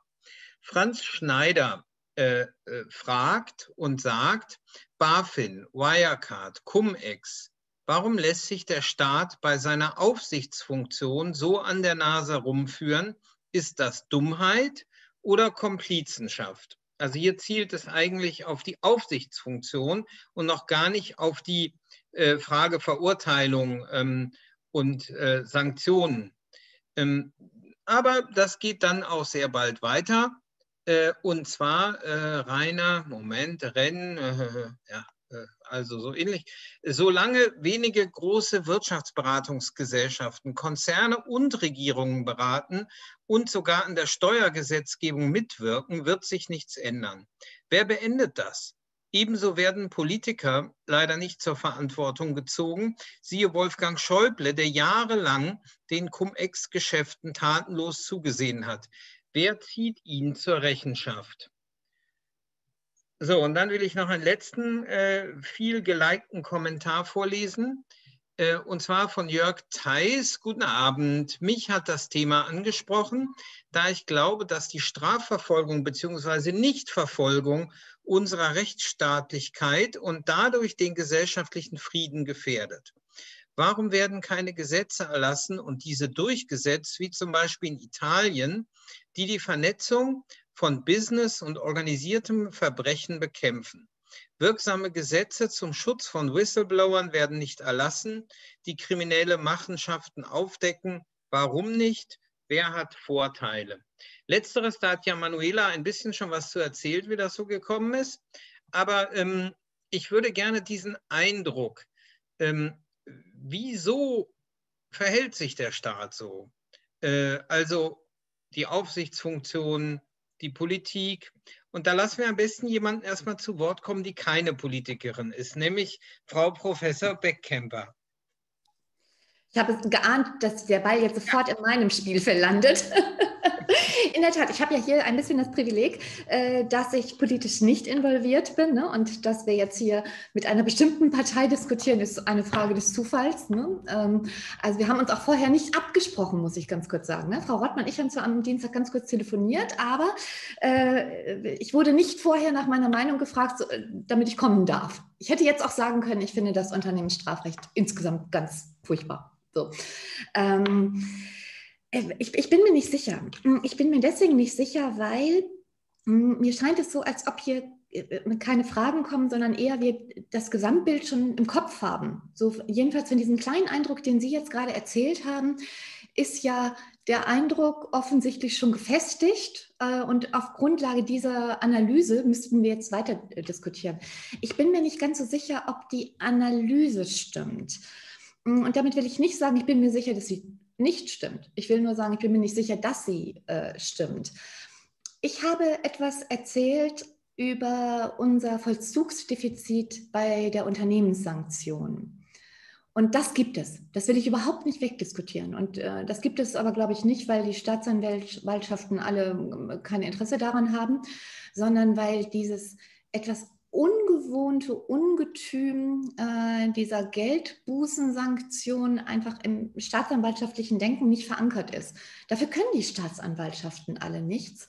Jetzt ist ja sehr deutlich sichtbar, Frau Gumnior die Jüngste hier in unserem Kreis. Äh, aber ich glaube, sogar sie wird mir bestätigen können, dass Ordnungswidrigkeiten in der Ausbildung der Juristen einfach nicht vorkommen. Also man muss schon das Fach Wirtschaftsstrafrecht wählen, um überhaupt von dieser Sanktion des 130 und 30 ich sage den Paragraphen nicht, ich habe ja gesprochen, keine Paragraphen heute, äh, äh, jeweils diese Sanktionen, die da in diesem Gesetz sind, zu kennen. Und ähm, jetzt müssen wir, glaube ich, darum hatte ich Sie ja am Anfang gebeten, mehrere Dinge trennen. Das eine ist die Sanktion der individuellen Personen. Die Gesetze sind da. Da brauchen wir auch nichts verschärfen. Das wäre symbolisches Strafrecht. Damit ist niemandem geholfen. Das Zweite ist, wollen wir eine Sanktion auch gegen ein Unternehmen? Da waren wir drei Juristinnen, die wir jetzt heute hier sind, ja offensichtlich sehr einig. Ne? Wir würden es begrüßen, ein solches ähm, Strafrecht zu haben oder wir können das auch gerne Sanktionen nennen, wie jetzt äh, das in dem Entwurf so ein bisschen beschönigend genannt wird. Ehrlich gesagt, da bin ich leidenschaftslos, ist mir nur egal, wie wir es nennen. Äh, und das Dritte ist dann, und das habe ich in meinem Vortrag gar nicht aufgenommen, weil es ein anderes Rechtsgebiet ist, die Funktion des Staates als Aufsichtsbehörde. Äh, und was ich an dieser Stelle nicht leisten kann, weil es einfach unseriös wäre, ich kann Ihnen nicht sagen, was bei der BFIN im Wirecard-Skandal falsch gelaufen ist. Das wäre ja auch sehr merkwürdig, ne? wenn ich hier in meinem Arbeitszimmer sitze und quasi per Ferndiagnose sage, ich habe es ja vor zwei Jahren schon gewusst.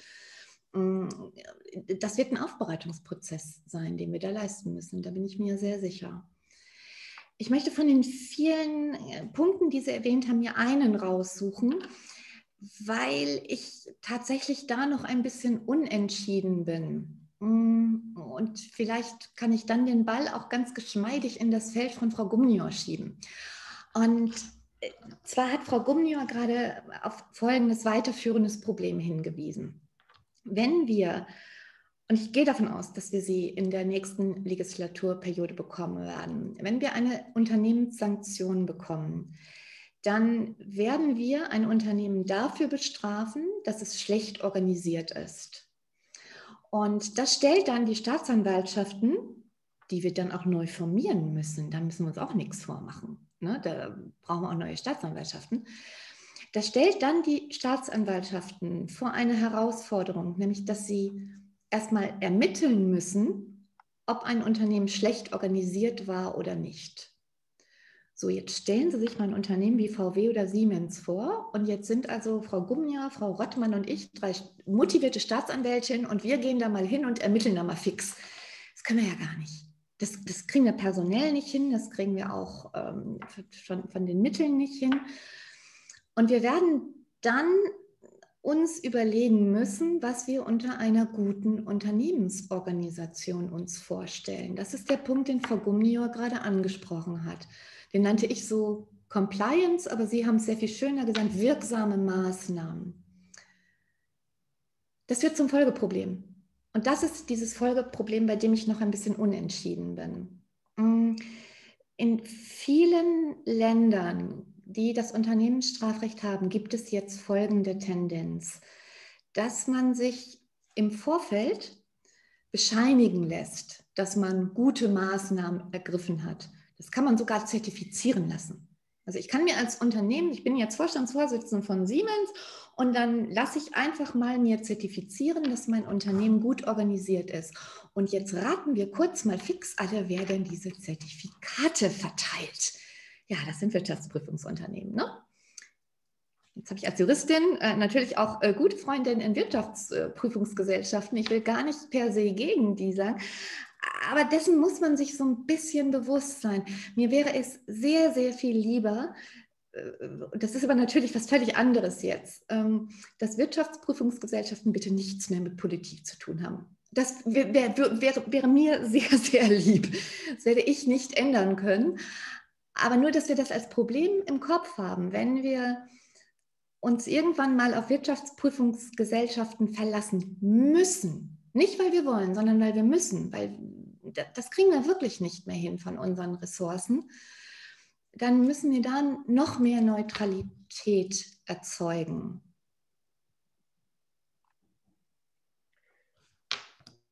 Vielen Dank, Manuela. Ähm, ich äh, habe hier noch eine Folgefrage, die man vielleicht noch mit. Wobei, ich glaube, die gebe ich dann eher Lena. Manuela, bitte. Und dann an Lena.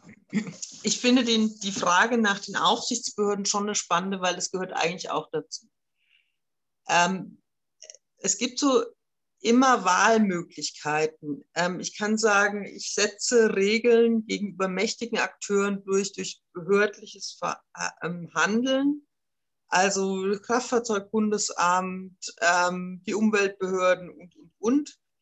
Ich kann sagen, das ist sozusagen eine Untervariante davon, das machen die Staatsanwaltschaften, also nicht indem sie Dinge genehmigen oder überprüfen, sondern im Nachhinein stark ähm, untersuchen und dann ähm, Dinge vor Gericht bringen. Und dann kann ich natürlich sagen, es sind die Privaten, die am Ende wirtschaftliches Fehlverhalten sanktionieren. Also ähm, die Anteilseigner, die Geschädigten, das nennt man so Private Enforcement. Das ist nicht die deutsche Kultur, sondern unsere Kultur ist so, da gibt es eine Behörde und die guckt da schon drauf. Ja? Ähm, und äh, die Schwäche unserer deutschen Behörden, unserer deutschen Aufsichtsbehörden bei der Überwachung vor allem großer Akteure aus der Wirtschaft, die ist, finde ich, schon offenkundig und hat auch dazu geführt, dass diese Frage, hey, dann übergeben wir das doch lieber denen, die selber auch ein wirtschaftliches Interesse daran haben, dass dieses Unternehmen ähm, in Haftung genommen wird, das ist eigentlich immer stärker geworden. Also die Sammelklage ist so ein Beispiel dafür, Kapitalanlegermusterverfahrensgesetz ist ein Beispiel dafür. Warum funktionieren die Aufsichtsbehörden nicht und muss man nicht bei denen auch was tun? Ich glaube, dass man es muss, Denn meiner Wahrnehmung zum Beispiel des v der Aufklärung des VW-Dieselskandals in den Vereinigten Staaten war, dass es ein Zusammenwirken von Unternehmenssanktionsrecht, ähm, Sammelklagemöglichkeiten und starken Aufsichtsbehörden, vor allem der kalifornischen Umweltbehörde war, die selber wirklich ermittlerisch und ich sage mal forensisch, sagt man das bei uns Juristen, also mit so einem kriminalistischen Gespür ähm, vorgeht. Diese Kultur haben unsere Behörden momentan nicht. Man muss sich natürlich, also wir haben eh, das ist nochmal eine ganz andere Veranstaltung, ne, was muss in der deutschen Verwaltung passieren. Aber ich glaube, dass auch die Staatsanwaltschaften eigentlich darauf angewiesen sind, dass sie solche spezialisierten Behörden, die BaFin wäre ein anderes Beispiel, wo es nicht gut funktioniert hat, an ihrer Seite haben und die Staatsanwaltschaften dann am Ende das, was diese Behörden ermittelt haben, ähm, umsetzen in Sanktionen. Aber sie können, es wird nicht möglich sein, solche großen ökonomischen Akteure ähm, komplett nur durch die Staatsanwaltschaften zu kontrollieren. Also wir haben ja andere Bereiche, wo es ganz gut funktioniert. Ich finde zum Beispiel die Kartellbehörden sind recht wirksam in Deutschland und das bräuchten wir in anderen Bereichen auch. Also Frage ist, wie schafft man einen Anreiz und dann sozusagen, jetzt kann ich mal aus dem Nähkästchen plaudern, ich, ich war ja selber Unternehmensjuristin, also ich kenne die böse Seite der Macht, ja, von innen. Ähm, ich weiß, wie man da agiert, wenn man wenn man nicht will, dass einem eine Behörde irgendwie auf die Füße tritt oder ähm, wenn man Sorge vor Gerichtsverfahren hat. Und ähm, momentan haben wir da ein starkes Machtungleichgewicht auch zum Beispiel bei der rechtlichen Vertretung. Ja? Also die Kanzleien, die sich große Unternehmen leisten können, äh, das, da, also die, da lachen die sich über so einen Beamten kaputt, ja, mit seinem Jahres, also da fehlt es sowohl in den Staatsanwaltschaften natürlich an personellen Ressourcen, die da auf Augenhöhe mitschwimmen können, als auch in den Aufsichtsbehörden, als auch bei der BaFin. Also das sozusagen auf Augenhöhe zu bringen, ist eine Ressourcenentscheidung, auch eine Schwerpunktentscheidung. Und ich, äh, also äh, das Beispiel Österreich wurde ja schon genannt. Österreich ähm, hat zum Beispiel einen wesentlichen Unterschied äh, zu Deutschland die Gerichte sind Bundesgerichte.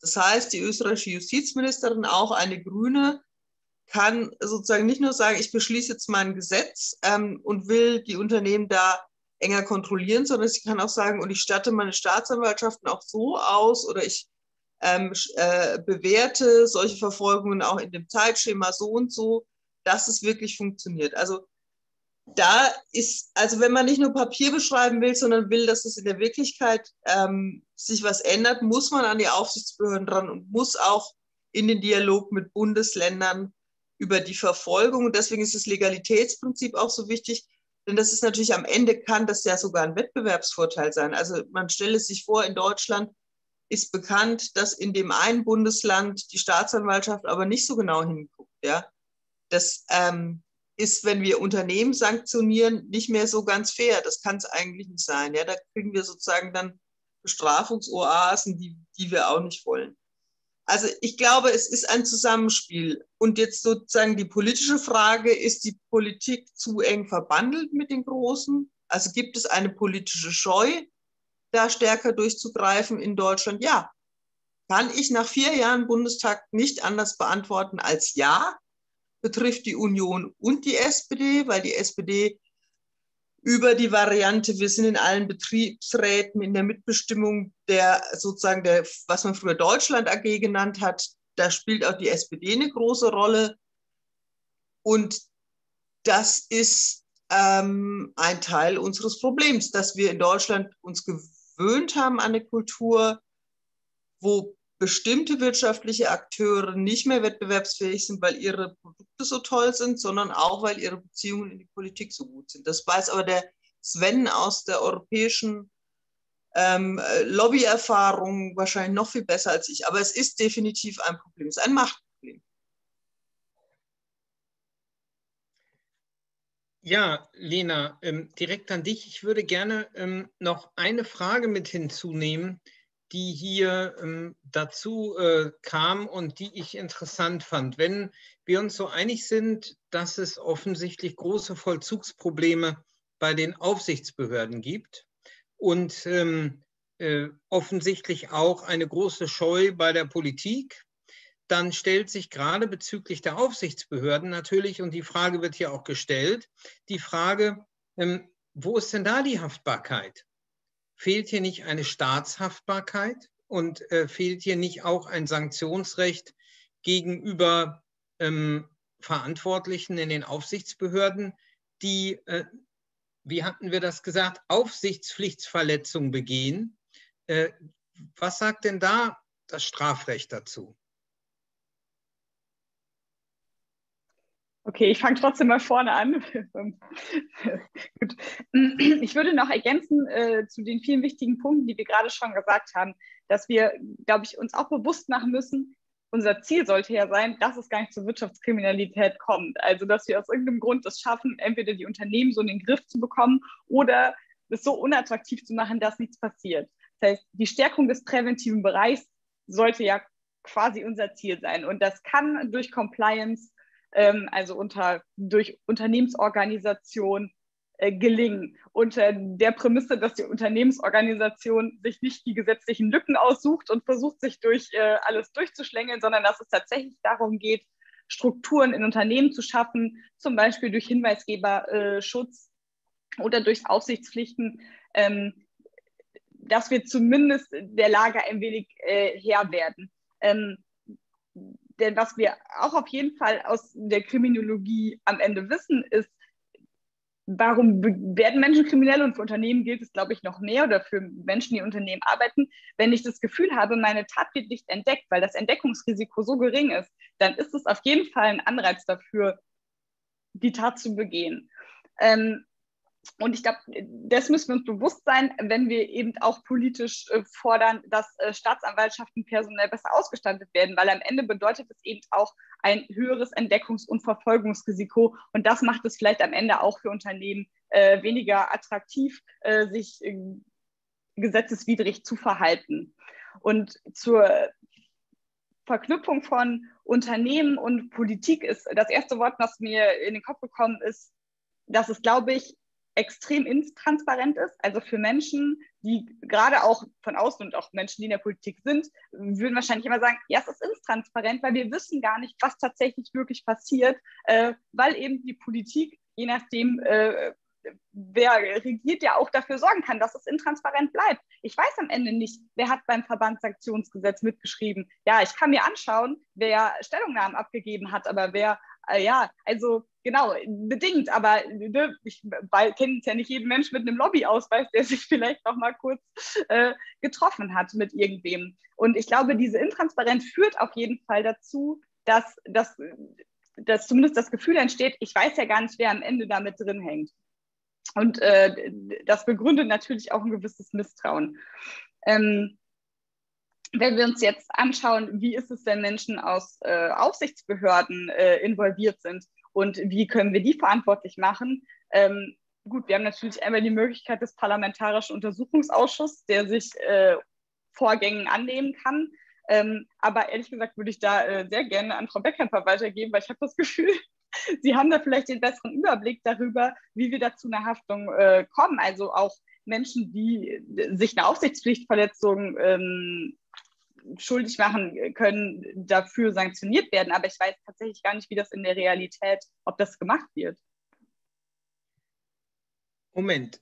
Ähm, ich habe zwar diese Frage jetzt hier reingeworfen, aber ich muss auch ein bisschen noch hier äh, Anwalt spielen. Und ähm, wir werden, haben ja nicht mehr ewig Zeit. Und hier sind noch eine ganze Reihe wirklich spannender Punkte, die ich noch zumindest mal, auch wenn sie nicht alle beantwortet werden, können, ähm, hier noch mit äh, hineinwerfen. Äh, und einiges werde ich auch am Schluss noch sagen. Ähm, äh, da, bevor ich Frau Beckkemper noch mal das Wort gebe, noch mal eine Rückfrage, die hier auch entstanden ist.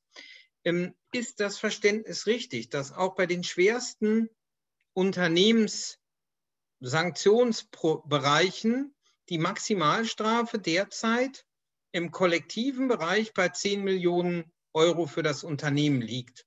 So habe ich das verstanden. Das wurde hier nochmal zurückgefragt. Und das ist natürlich angesichts des potenziellen Nutzens aus einer ökonomischen Theorie ähm, äh, wirtschaftlichen Handelns heraus völlig klar, und das wird hier auch angesprochen, ähm, wenn ich mir davon ausgehe, dass ich Gewinne in ganz anderer Höhe machen kann, äh, dann ist das doch für das Unternehmen eine klare Kiste. Äh, dass ähm, man schon sehr anständige Leute in den Unternehmen braucht, äh, so etwas nicht zu machen. Ähm, und äh, ja, also das nur noch mal, um das zuzuspitzen, diese 10 Millionen. Jetzt wäre dann noch mal die Rückfrage an Manuela bzw. Lena an den Entwurf des geplanten Unternehmenssanktionsrechts. Da war jetzt ein kann äh, an der Umsatzhöhe orientiert werden. Ja? Aber äh, was ist denn dann ein verbindliches Strafmaß äh, bei großen, schweren Schäden äh, in dem Bereich? Also muss das nicht wirklich verbindlicher sein, wie hoch Sanktionen dann auch sind, damit eben äh, klarer ist, dass es sich für die Unternehmen einen echten Abschreckungscharakter gibt. Also was war da die grüne Position und ähm, was oder was ist eure Position?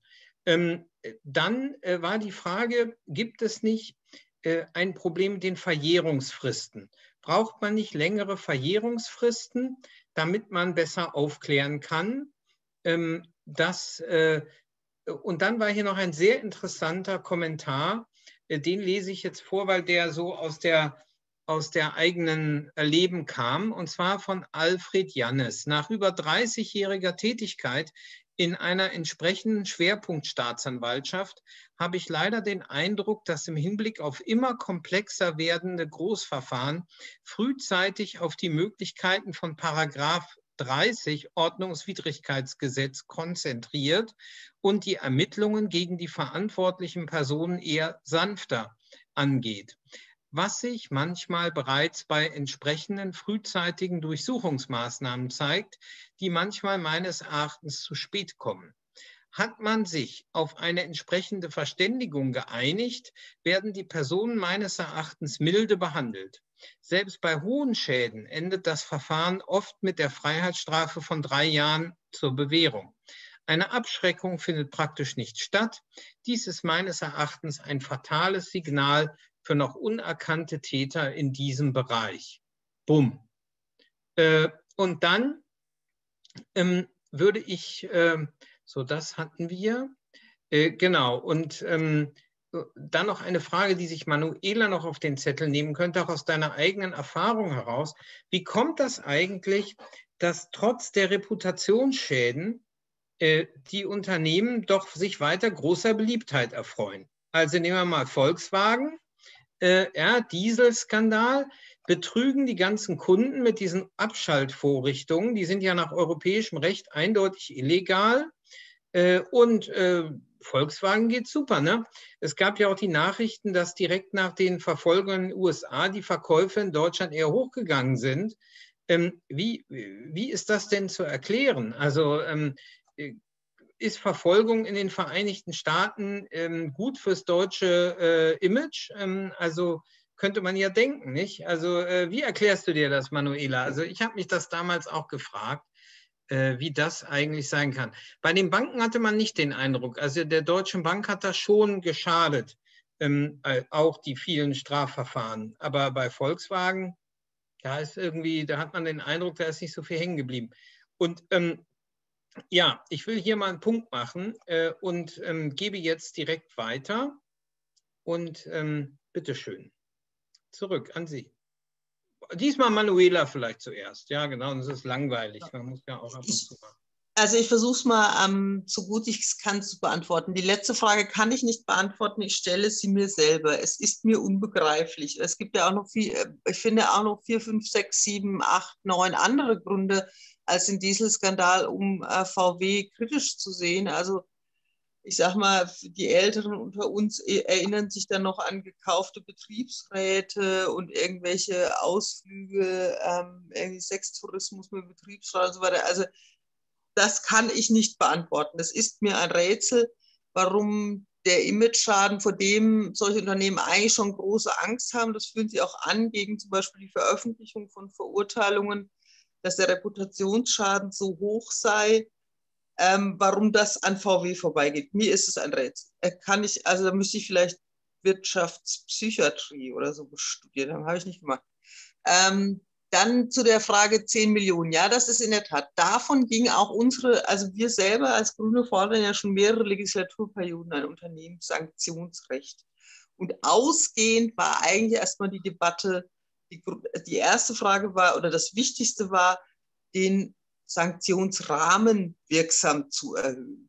Jetzt kam, dann war ja die Frage, ja, müsste man da nicht so eine Mindeststrafe in Abhängigkeit vom Schaden oder sowas festlegen? Also man muss sagen, im Strafrecht ist es so, und das, auch wenn man das anlehnt an Strafrecht, und das ist ja so gewollt, dann ist natürlich die Festsetzung der Strafhöhe immer eine höchst individuelle Entscheidung. Der Entwurf, über den jetzt diskutiert wird, enthält auch etliche Parameter, die einen Einfluss auf die Strafhöhe haben. Also hat das Unternehmen an der Aufklärung selber mitgewirkt oder nicht? Ist zum Beispiel ein Argument, womit es die, was ja vernünftig ist, weil wir wollen ja, dass die ähm, Unternehmen kooperieren, ähm, ist etwas, was äh, zu einer ähm, Verringerung der Strafe beitragen kann. Es gibt das andere Argument, ist der Umsatz denn überhaupt ein faires Kriterium? Weil ich kann einen hohen Umsatz haben, der Gewinn kann gering sein müsste das nicht anders sein? Also ich, ähm, wir haben diesen Weg Richtung also Sanktionierung an der Umsatzhöhe. Das ist ein europäischer Impuls. Das haben wir in der Datenschutzgrundverordnung und so weiter. Und ich halte ihn nicht für ganz verkehrt.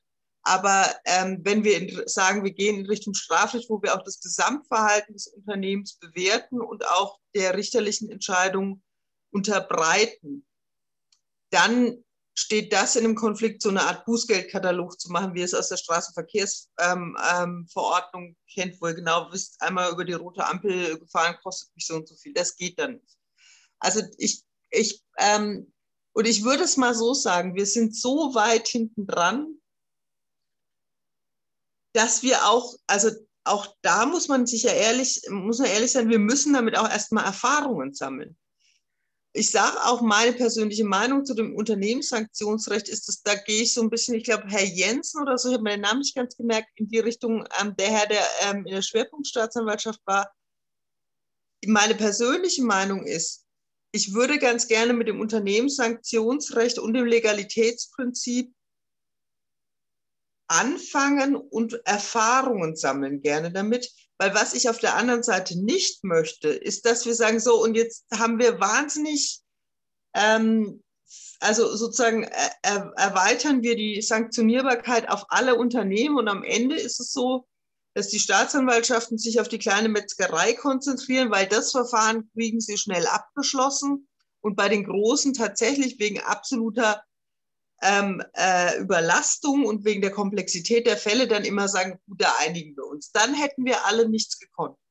Das heißt, mir ist es lieber, einen schmalen Anwendungsbereich des Unternehmenssanktionsrechts damit anzufangen und zu sagen, wir probieren das aus und versuchen damit wirklich die großen Fische unter Druck zu setzen, anstatt zu sagen, wir verleppern das und, und ver, ver, vertändeln auch die, die Verfolgungsressourcen in den Ländern auch da geht es um Klugheit. Und auch die Frage, sind denn die Sanktionen zu niedrig? Wird es eine abschreckende Wirkung haben? Wir müssen es erst ausprobieren. Wir müssen schauen, wie gehen die Gerichte damit um?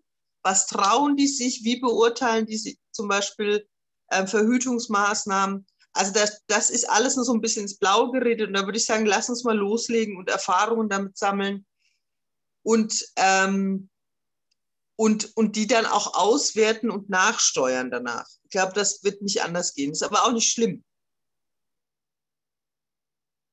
Lena? Und dann abschließend zurück an unsere professorale Rechtsberatung. Ja, vielleicht nochmal zur Strafhöhe. Wir hatten heute schon mal den Begriff der Sentencing Guidelines. Äh, so wird Strafe in den USA gibt es relativ, was heißt bindende Vorgaben, es gibt Vorgaben, wonach eine Strafe bemessen wird. Und deswegen kann eben auch überhaupt nur eine Aussage darüber getroffen werden, wie die Strafhöhe vielleicht am Ende aussehen kann. Ich glaube, da unterscheidet sich so ein bisschen unsere deutsche Rechtskultur. Ähm, ich bin mir unsicher, ob das besser ist, weil wir sagen natürlich, die Strafe bestimmt sich nach der Schuld des Täters. Die Schuld des Unternehmens haben wir nicht. Ähm, deswegen gibt das Verbandssanktionsgesetz ja zumindest auch ein paar Parameter vor, an denen sich die Strafe orientieren kann. Aber das begründet natürlich auch den enorm weiten ähm, Strafrahmen. Ähm, und ich habe heute schon mal über expressive Straftheorie gesprochen, wenn es jetzt darum geht zu zeigen, ja, was, also wie, wie ist die gesellschaftliche Einstellung dazu, dann könnte man ja schon sagen, dass erhöhte, angedrohte Strafen natürlich auch ein Signal bieten. Ob das am Ende dazu führt, dass weniger Wirtschaftskriminalität begangen wird, steht auf einem anderen Blatt.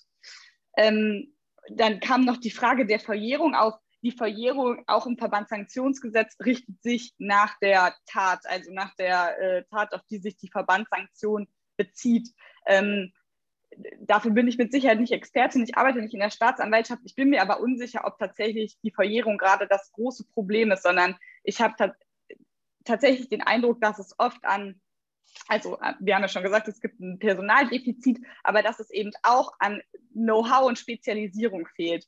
Ähm, in Vorbereitung auf diese Veranstaltung ist mir nämlich eine Sache aufgefallen. Ich mache sonst sehr viel Gewaltschutz von Frauen und wir sagen immer, wir müssen die RichterInnen, wir müssen die Staatsanwältinnen fortbilden, damit sie sensibilisiert werden für diesen Bereich. Und ehrlich gesagt, die gleiche Forderung können wir hier auch aufmachen. Die Menschen brauchen Know-how. Das ist nichts, was man in der Uni lernt. Wir kommen da als JuristInnen raus. Wir haben keinen volkswirtschaftlichen, betriebswirtschaftlichen Hintergrund. Ähm, und da muss sich mit Sicherheit einiges ändern, um Wirtschaftskriminalität zu verfolgen. Frau Professorin. Ich habe mir jetzt ganz viele Punkte aufgeschrieben. Äh, ganz kurz kann ich was sagen zur Verjährung. In der Tat, das hat Frau Gumnior gesagt, das ist nicht unser Problem, weil äh, Verjährungsfristen ja unterbrochen werden. Sobald wir anfangen zu ermitteln, sind wir ja draußen und da äh, haben wir dann auch Zeit. Ne? Solange immer was passiert, ist das nicht unser Problem. Ähm, ich möchte ein ganz kurzes Vorurteil nochmal aufnehmen und vielleicht ein bisschen dagegen kämpfen. Mm, und zwar wird immer befürchtet und auch gesagt, äh, ja, im Zweifel mit den Großen, da einigt man sich. Auch hier in diesem Gespräch kam es mal. Also der Kleine wird verurteilt und bei den Großen, da, da, da kommt dann so ein Deal bei raus. Und ganz kurz, damit wir nicht aneinander vorbeireden. Auch eine Verurteilung, die auf der Grundlage eines Deals stattfindet, ist eine Verurteilung. Ne? Also auch eine abgesprochene Verurteilung ist immer noch eine Verurteilung. Ähm, und manchmal können wir ohne dieses Instrument nicht. Das ist einfach eine ganz rein tatsächliche Sache. Mm, deswegen, also nicht, wenn Sie in den Zeitungen lesen, Staatsanwaltschaft und äh, Beschuldigte, Beschuldigter sprechen sich ab oder es liegt dem Ganzen eine Absprache zugrunde, wäre das per se etwas Schlechtes. Mm, ich freue mich, dass wir einen erfahrenen Staatsanwalt aus der Schwerpunktstaatsanwaltschaft äh, mit dabei haben. Und vielleicht ganz kurz anekdotisch, weil Frau Gummio sagte, wir brauchen mehr Ausbildung und da muss so ein bisschen Know-how dahinter gesetzt werden. Das sehe ich natürlich absolut genauso. Ich bin ein großer Freund von Ausbildung, ich verdiene mein Geld damit. Äh, aber ich sehe, um auch dem Ganzen hier mal so einen positiven Drive zu geben, ich sehe durchaus natürlich auch Verbesserungen. Ich habe, äh, wenn ich jetzt sage, vor 20 Jahren, dann wissen Sie wirklich alle, wie alt ich bin. Aber als ich mein Referendariat in der Schwerpunktbereich Staatsanwaltschaft für Wirtschaftsstrafrecht gemacht habe, da hatte ich einen sehr jungen, durchaus engagierten Ausbilder. Und ich kam damals schon von der Uni, ne? also ich war schon promovierte Wirtschaftsstrafrechtlerin, der mich hilfesuchend anguckte und sagte so, kennen Sie sich aus? Ich habe hier mal so zwei Bücher gekauft, was machen wir denn jetzt? Ne? Die Zeiten sind ja Gott sei Dank auch vorbei da ist jetzt eine ganz andere Manpower oder Frau-Power dahinter. Mm, insofern, ich will hier nicht alles schlecht reden, alles ist furchtbar, aber ich habe mir hier aufgeschrieben, dass ich dringlich noch eine Zahl mit Ihnen teile. Ich teile ja heute keine Paragraphen mit Ihnen, aber ich will mal eine Zahl mit Ihnen teilen. Der Siemens hat, als es um die Aufbereitung des Korruptionsskandals ging, 600 Millionen Euro nicht an Strafe an Amerika gezahlt, nicht an Buße an Deutschland gezahlt. Also ich glaube, insgesamt haben sie eine Milliarde an ähm, die USA gezahlt, aber sie haben nochmal 600 Millionen aufgewendet für die internen Untersuchungen. Das heißt, die Ermittlungen in dem, allein nur das Unternehmen Siemens hat 600 Millionen Euro gekostet. Sie ahnen schon, dass der gesamte Justizhaushalt von Bayern da nicht hinterherkommt.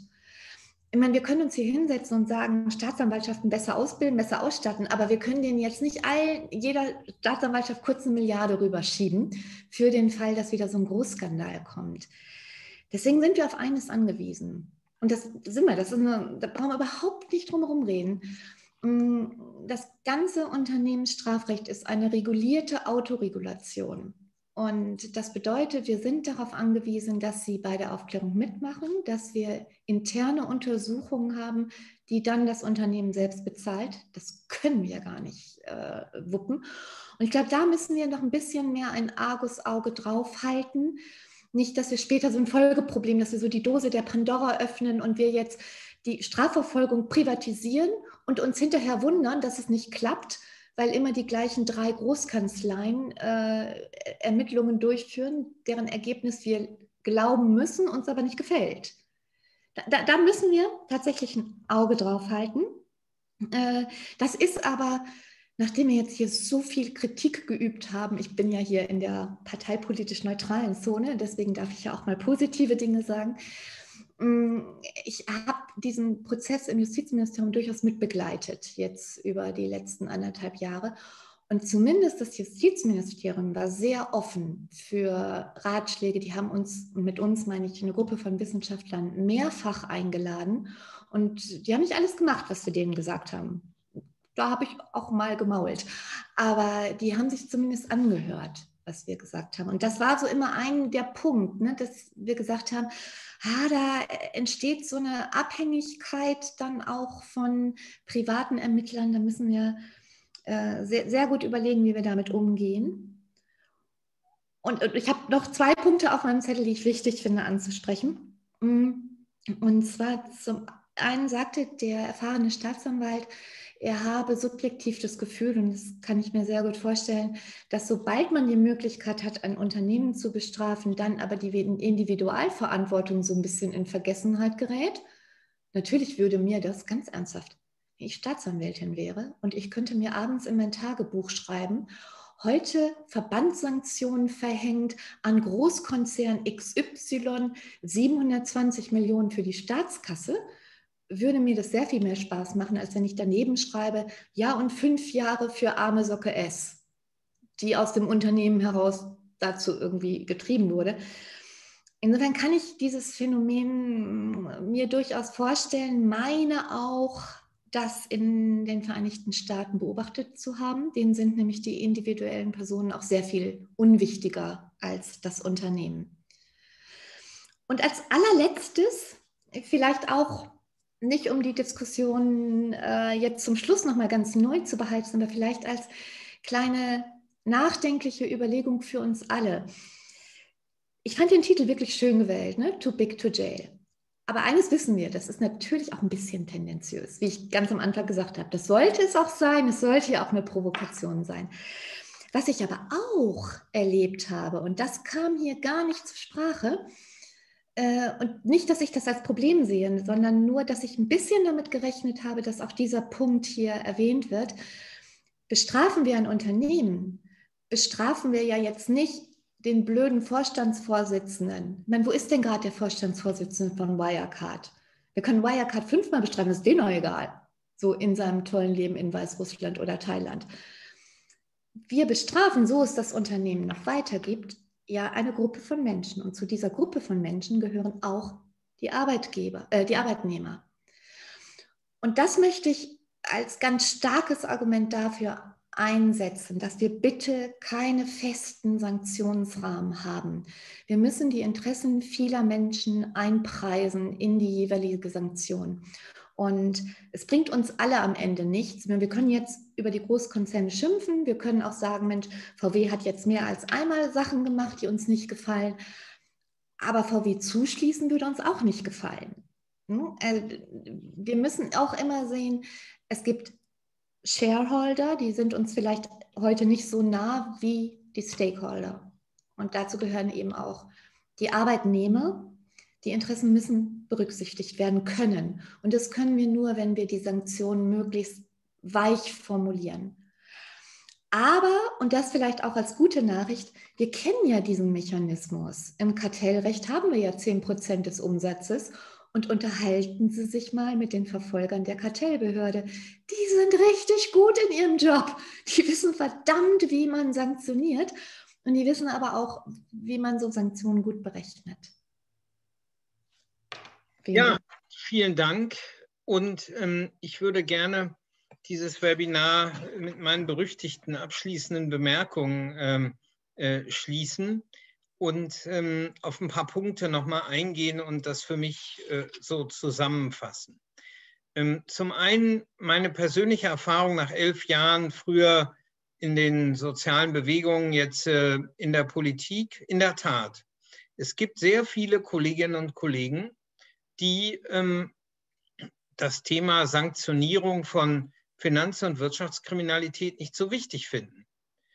Ähm, die Frage war ja gestellt worden, wer sanktioniert die eigentlich? Und da muss man eben sagen, der Wähler und die Wählerin.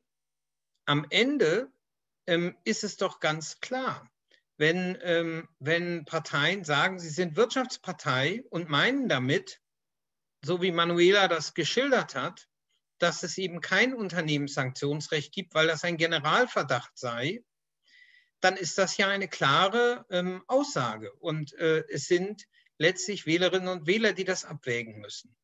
Und ähm, gleichzeitig finde ich politisch so interessant, dass dieses ganze Feld der Rechtspolitik aus meiner Sicht im Verhältnis in der politischen Bedeutung ähm, da ist ja auch vielfach im Leitblatt äh, der Rechtsstaatspolitik der FAZ in Deutschland immer wieder darüber geklagt worden, dass dieser Bereich der Rechtspolitik im politischen Selbstverständnis, auch der politischen Klasse, eher ähm, ein Stück an Profil verloren hat. Wir Grünen sind gegründet worden, auch als Bürgerrechtspartei. Bürgerrechtspartei war, hieß für Grüne in zuvorderst Schutzrechte gegenüber dem Staat wirklich scharf zu stellen. Also dass, äh, der Datenschutz, ein ganz großes äh, grünes Anliegen, aber auch viele andere Schutzrechte gegenüber dem Staat, wo wir sehr skeptisch waren. Anlasslose Massenüberwachung und auch häufig in der Minderheit waren gegenüber anderen. Aber eine andere Ebene der Rechtspolitik ist nicht genauso stark äh, Markenzeichen von uns Grünen gewesen seit Gründung, nämlich die Gleichheit vor dem Recht was ich damit, und genau dieses Thema des Webinars zielt auf diese Idee der Gleichheit vor dem Recht. Ich sage das hier nicht, um Manuela Honig um den Mund zu schmieren, sondern ich sehe, dass sich da was verändert hat in den letzten vier Jahren, seit du da bist. Äh, diese Themen sind größer geschrieben worden. Dinge, die früher auch in der Grünen Bundestagsfraktion nicht leicht zu erreichen waren. Klare Zustimmung für höhere Sanktionen im Unternehmensbereich, Whistleblower-Schutz, ähm, auch bei den Sammel- und Gruppenklagen äh, hat es eine Weile gedauert. Es gab eine ganze Reihe Themen dieser Art, das hat gedauert. Und, ähm, und das ändert sich jetzt. Und ich habe die Wahrnehmung, auch in der Bevölkerung gibt es sehr viele, die dieses Gefühl teilen, dass der Staat nicht effektiv genug ist bei, der, bei dem Thema Gleichheit vor dem Recht. Und, ähm, und da ist ein politisch offenes Feld, weil die Partei, die das früher vertreten hat, war die FDP die war, die war an sich erstmal vom Anspruch her, die das wirklich gemacht haben. Das war der Anspruch. So, und dieses Feld ist offen. Äh, einige Parteien sagen, sie, sie wollen lieber da nicht so sehr sanktionieren, weil es die Wirtschaft stören könnte. Und andere äh, sind hier eher auf äh, de, den Staat stärken, ist immer schlecht. Und dazwischen gibt es ein Verständnis von Bürgerrechtspartei, das weiter den Schutz vor dem Staat nicht vernachlässigt, aber auf der anderen Seite die Gleichheit äh, vor dem Recht betont. Und dazu gehören eben diese Vorschläge, die hier jetzt auch, ja, und da waren wir uns in der Grundrichtung einig, ähm, äh, gemeinsam Konsens waren. Ähm, also äh, höhere Sanktionsmöglichkeiten, die tatsächlich Abschreckungscharakter haben. Ähm, und ein höheres Entdeckungsrisiko durch die Stärkung von Whistleblowern. Ein Thema, was wir hier nicht äh, diskutiert haben, war, ob denn wie in den USA nicht Whistleblower auch eine Kompensation brauchen, wenn sie etwas offenlegen, damit die Anreize stärken. Das ist in Deutschland ein ganz heikles Feld. Äh, aber in den USA gehört das auch bei deren Erfolgen mit dazu. Dann war ähm, die Argumentation, sei das, sei diese Stärkung der verschiedenen Vorschläge, die hier genannt wurden. Ich wiederhole sie nicht alle. Ja. Äh, Lena hat einige interessante noch aus anderen Ländern gebracht. Im Einführungsvortrag und auch bei dem, was Manuela vorgestellt hat, waren die Elemente da. Ähm, Verpflichtung des Staates zu ermitteln und ähm, zudem stärkere Veröffentlichungspflichten. Das kenne ich übrigens auch aus der Finanzmarktregulierung, Stichwort Marktmissbrauch. In anderen Ländern, in Großbritannien, werden Sanktionen veröffentlicht und nur in absoluten Ausnahmefall nicht veröffentlicht. Bei uns wird in aller Regel nicht veröffentlicht und nur im Ausnahmefall veröffentlicht. Die Veröffentlichung einer Sanktion, gerade wenn es nicht um Privatpersonen geht, sondern bei Unternehmen, ist aber äh, auch Teil der Abschreckungswirkung.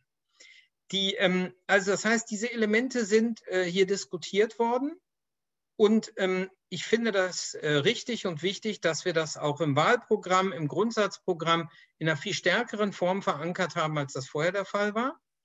Äh, aber ähm, wir müssen an einer Stelle dabei aufpassen und ich finde das auch von der Rhetorik sehr wichtig. Das Ganze ist nicht gegen ökonomische Interessen gerichtet. Es ist geradezu das Gegenteil der Fall. Die deutsche Wirtschaft hat unter diesen großen Skandalen massiv gelitten. Wer mit dem ökonomischen Argument operiert, um gegen eine gleichmäßige Rechtspolitik zu agitieren, äh, aus meiner wirtschaftswissenschaftlichen Sicht ist das einfach nur unzutreffend.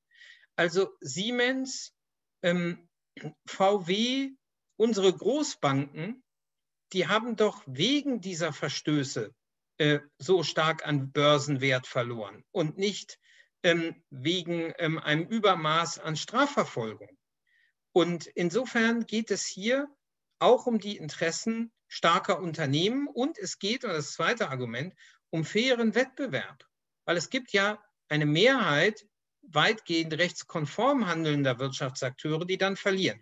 Und das ist ja hier mehrfach gesagt worden. Im Kartellrecht finden wir das total normal, und in diesem Bereich aber nicht. Und, ähm, und in vielen anderen Rechtsbereichen nicht. Und das, glaube ich, äh, muss sich im Denken verändern. Und da will ich noch ein letztes äh, zu sagen, dass damit Behörden so scharf vorgehen und auch Strafverfolgungsbehörden so scharf vorgehen, wie wir das im Kartellrecht kennen, braucht es eine, einen gesellschaftlichen Willen, das zu tun.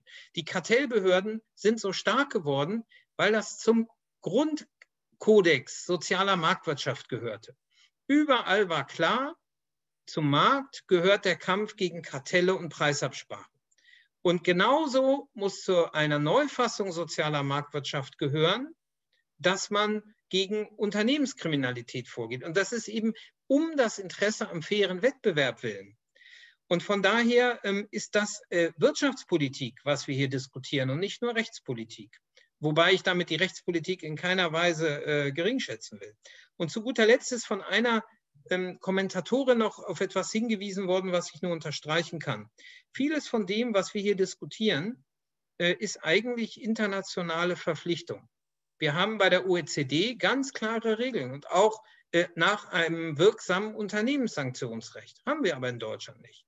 Im Bereich äh, Sammel- und Gruppenklagen und bei den Whistleblowern haben wir europäische Rechtsfortschritte durchgesetzt, wo wir Grünen gerade bei den WhistleblowerInnen auch großen Erfolge hatten und stoßen jetzt auf einen Unwillen der großen Koalition, das wirklich umzusetzen. Aber die werden das am Ende umsetzen müssen, beziehungsweise eben nicht mehr, sondern wir müssen das dann machen.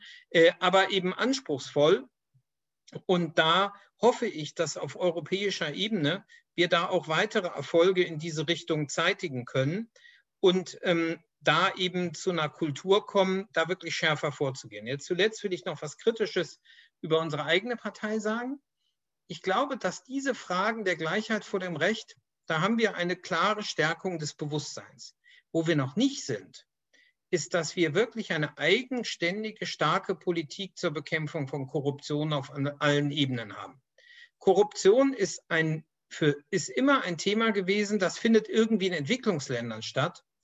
Aber wir verschlechtern uns in den Indizes und es gibt Anzeichen, dass wir in einigen sensiblen Bereichen, ich sage mal sowas, kommunale Auftragsvergabe, Vergabe von Grundstücken für Bauland, Bauerwartungsland, äh, Vergabe von Posten im, äh, im Bereich von öffentlichen Unternehmen, da haben wir äh, Umgang mit großen Parteispenden und ein Thema, wo Manuela und ich nicht völlig einer Meinung sind, der Umgang mit Karenzzeiten. Äh, die, ähm, diese Themen sind sehr sensibel in der deutschen Öffentlichkeit und ich finde, es ist unsere Verantwortung als Grüne, auch in diesem Bereich der Korruptionsbekämpfung, eine eigene öffentlich stark sichtbare Agenda zu haben. Äh, und äh, ich werde dafür jedenfalls weiterarbeiten, mein Kollege Daniel Freund im Europaparlament auch. Ihr macht das sicher auch im Bundestag, aber ich finde, da könnten wir noch lauter werden und ich glaube, die Mehrheit der Bürgerinnen und Bürger würde uns das danken, wenn wir in all diesen Feldern lauter wären. So, meine abschließenden Bemerkungen müssen meine Gäste immer ertragen, auch wenn das zum Teil schwer ist. Und, ähm, aber die Diskussion ist offen. Und ich danke euch, dass ihr dieses und Sie Ihnen, dass ihr dieses Webinar möglich gemacht haben. Ich bin äh, jedenfalls äh, ganz erfreut und äh, dass das so viel Anklang gefunden hat. Ich bleibe da jedenfalls dran. Ihr auch. Alles Gute. Lena demnächst im Bundestag. Manuela hat ja einen sicheren Listenplatz. Du bist sozusagen schon, äh, stehst vom großen Wahlkampf, aber das wird alles weitergehen. Und Sie, Frau Beckkämper, vielen Dank dass Sie hier mitgemacht haben und äh, Glück für Ihre Studierenden in Leipzig, äh, dass man sie dort weiter hören kann. Ja, alles Gute, Dankeschön und auf Wiedersehen. Tschüss.